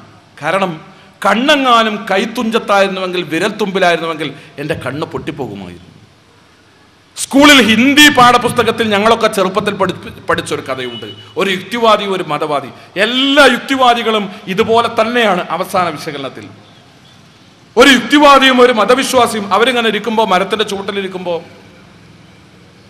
മതവിശ്വാസിയോട് യുക്തിവാദി പറഞ്ഞു ദൈവം പൊട്ടനാണ് വിഡ്ഢിയാണ് എന്തേ അങ്ങനെ പറയാൻ? വലിയ മരം നമ്മളിൽ ചാരിയിരിക്കുന്ന നെല്ലിക്കയുടെ വലിയ മരം. എത്ര വലിയ മരം? എത്ര സ്ഥലം? എത്ര സ്പേസ് ഇതിന് ചെലവാണ്? എത്ര സ്പേസ് നെല്ലിക്ക മരം നിൽക്കാൻ എത്ര സ്പേസ് ചെലവാണ്? അതിന്ന് കിട്ടുന്ന സാധനം ചെറിയ നെല്ലിക്കകൾ. മണ്ണിലൂടെ നിലത്തൂടെ പടർന്നു പോകുന്ന ചെറിയ വള്ളി അതിലുണ്ടാകുന്നതോ വലിയ മത്തനും വലിയ കുമ്പളങ്ങയും. ദൈവത്തിന് വല്ല വിവരമുണ്ടോ? വലിയ മരം ഉണ്ടാക്കിയിട്ട് അതിൽ ചെറിയ ഫലവും ചെറിയ വള്ളിയിൽ വലിയ കായും. ദൈവത്തിന് വിവരമുണ്ടോ? ആ ചോദ്യം ഇങ്ങനെ ചോദിച്ചുകൊണ്ടിരിക്കുമ്പോൾ നെല്ല് മരത്തിന്റെ ഏറ്റവും മുകളിൽ നിന്ന് ഒരു നെല്ലിക്ക ഞെട്ടറ്റ് താഴെ വീണ്. ഈ ചോദ്യം ചോദിച്ച യുക്തിവാദിയുടെ നിർമണ്ടയിൽ അയാൾ ബോധം പോയി അവിടെ വീണു. മതവിശ്വാസി അയാൾക്കാണല്ലോ കാരുണ്യം ഉണ്ടാവുക. സ്നേഹം അയാൾക്കാണുണ്ടല്ലോ. ഓടിപ്പോയി. ഒരു പാത്രത്തിൽ കുറച്ച് വെള്ളം കൊണ്ടുവന്ന് ഇയാളുടെ മുഖത്ത് തെളിച്ചു. ബോധം ഉണർന്നു. അയാൾ പറഞ്ഞു ദൈവം ബുദ്ധിമാനാണ്.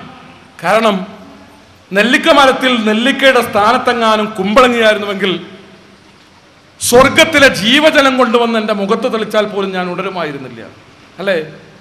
ദൈവത്തിന്റെ ബുദ്ധിയെയും ദൈവത്തിന്റെ ചിന്തയെയും ദൈവത്തിന്റെ യുക്തിയെയും ദൈവത്തിന്റെ അറിവിനെയും ചോദ്യം ചെയ്യുന്ന യുക്തിവാദികളെ ഈ പ്രപഞ്ചത്തിലുള്ള ചെറുതും വലുതുമായ ഓരോ പ്രതിഭാസങ്ങളെയും പഠിക്കാനും മനസ്സിലാക്കാനും അറിയാനും അഹന്തയും അഹങ്കാരവും ധാർഷ്ട്യവും മാറ്റിവെച്ചുകൊണ്ട് സന്മനസ്സോടുകൂടെ സന്നദ്ധത നിങ്ങൾ കാണിക്കുന്നുവെങ്കിൽ നിങ്ങൾക്ക് ബോധ്യപ്പെടുമാറ് ഈ പ്രപഞ്ചത്തിൽ ഈ ലോകത്തുള്ള മുഴുവൻ മനുഷ്യർക്കും ബോധ്യപ്പെടുമാറ്. നന്മയും തിന്മയും ശരിയും തെറ്റും മനസ്സിലാക്കാൻ കഴിയുമാറ്. എല്ലാ ദൃഷ്ടാന്തങ്ങളും അള്ളാഹു പ്രപഞ്ചത്തിന്റെ രക്ഷിതാവ് ഇവിടെ ഒരുക്കി വെച്ചിട്ടുണ്ട്. നമുക്ക് നന്മയും ചെയ്യാം തിന്മയും ചെയ്യാം. നമ്മൾ അങ്ങനെയാണ് സൃഷ്ടിച്ചത്. നന്മ ചെയ്യുന്നവർക്കും ജീവിക്കാൻ അവസരം തന്നു. തിന്മ ചെയ്യുന്നവർക്കും ജീവിക്കാൻ അവസരം തന്നു. നിങ്ങൾക്ക് മാർഗം കാണിച്ചു തന്നു. നന്ദിയുടെ മാർഗം സ്വീകരിക്കാം. നന്ദികേടിന്റെ മാർഗം സ്വീകരിക്കാം. മുഹമ്മദ് നബിയോട് പറഞ്ഞു വലവു ഷാ റബ്ബുക്. മുഹമ്മദ് നബിയെ വിശുദ്ധ ഖുർആാനിൽ പത്താം അധ്യായം സൂറത്ത് യൂനുസ് തൊണ്ണൂറ്റി ഒമ്പതാമത്തെ വചനം വലവു ഷാ റബ്ബുക്. മുഹമ്മദ് നബിയെ നിന്റെ രക്ഷിതാവ് വിചാരിച്ചാൽ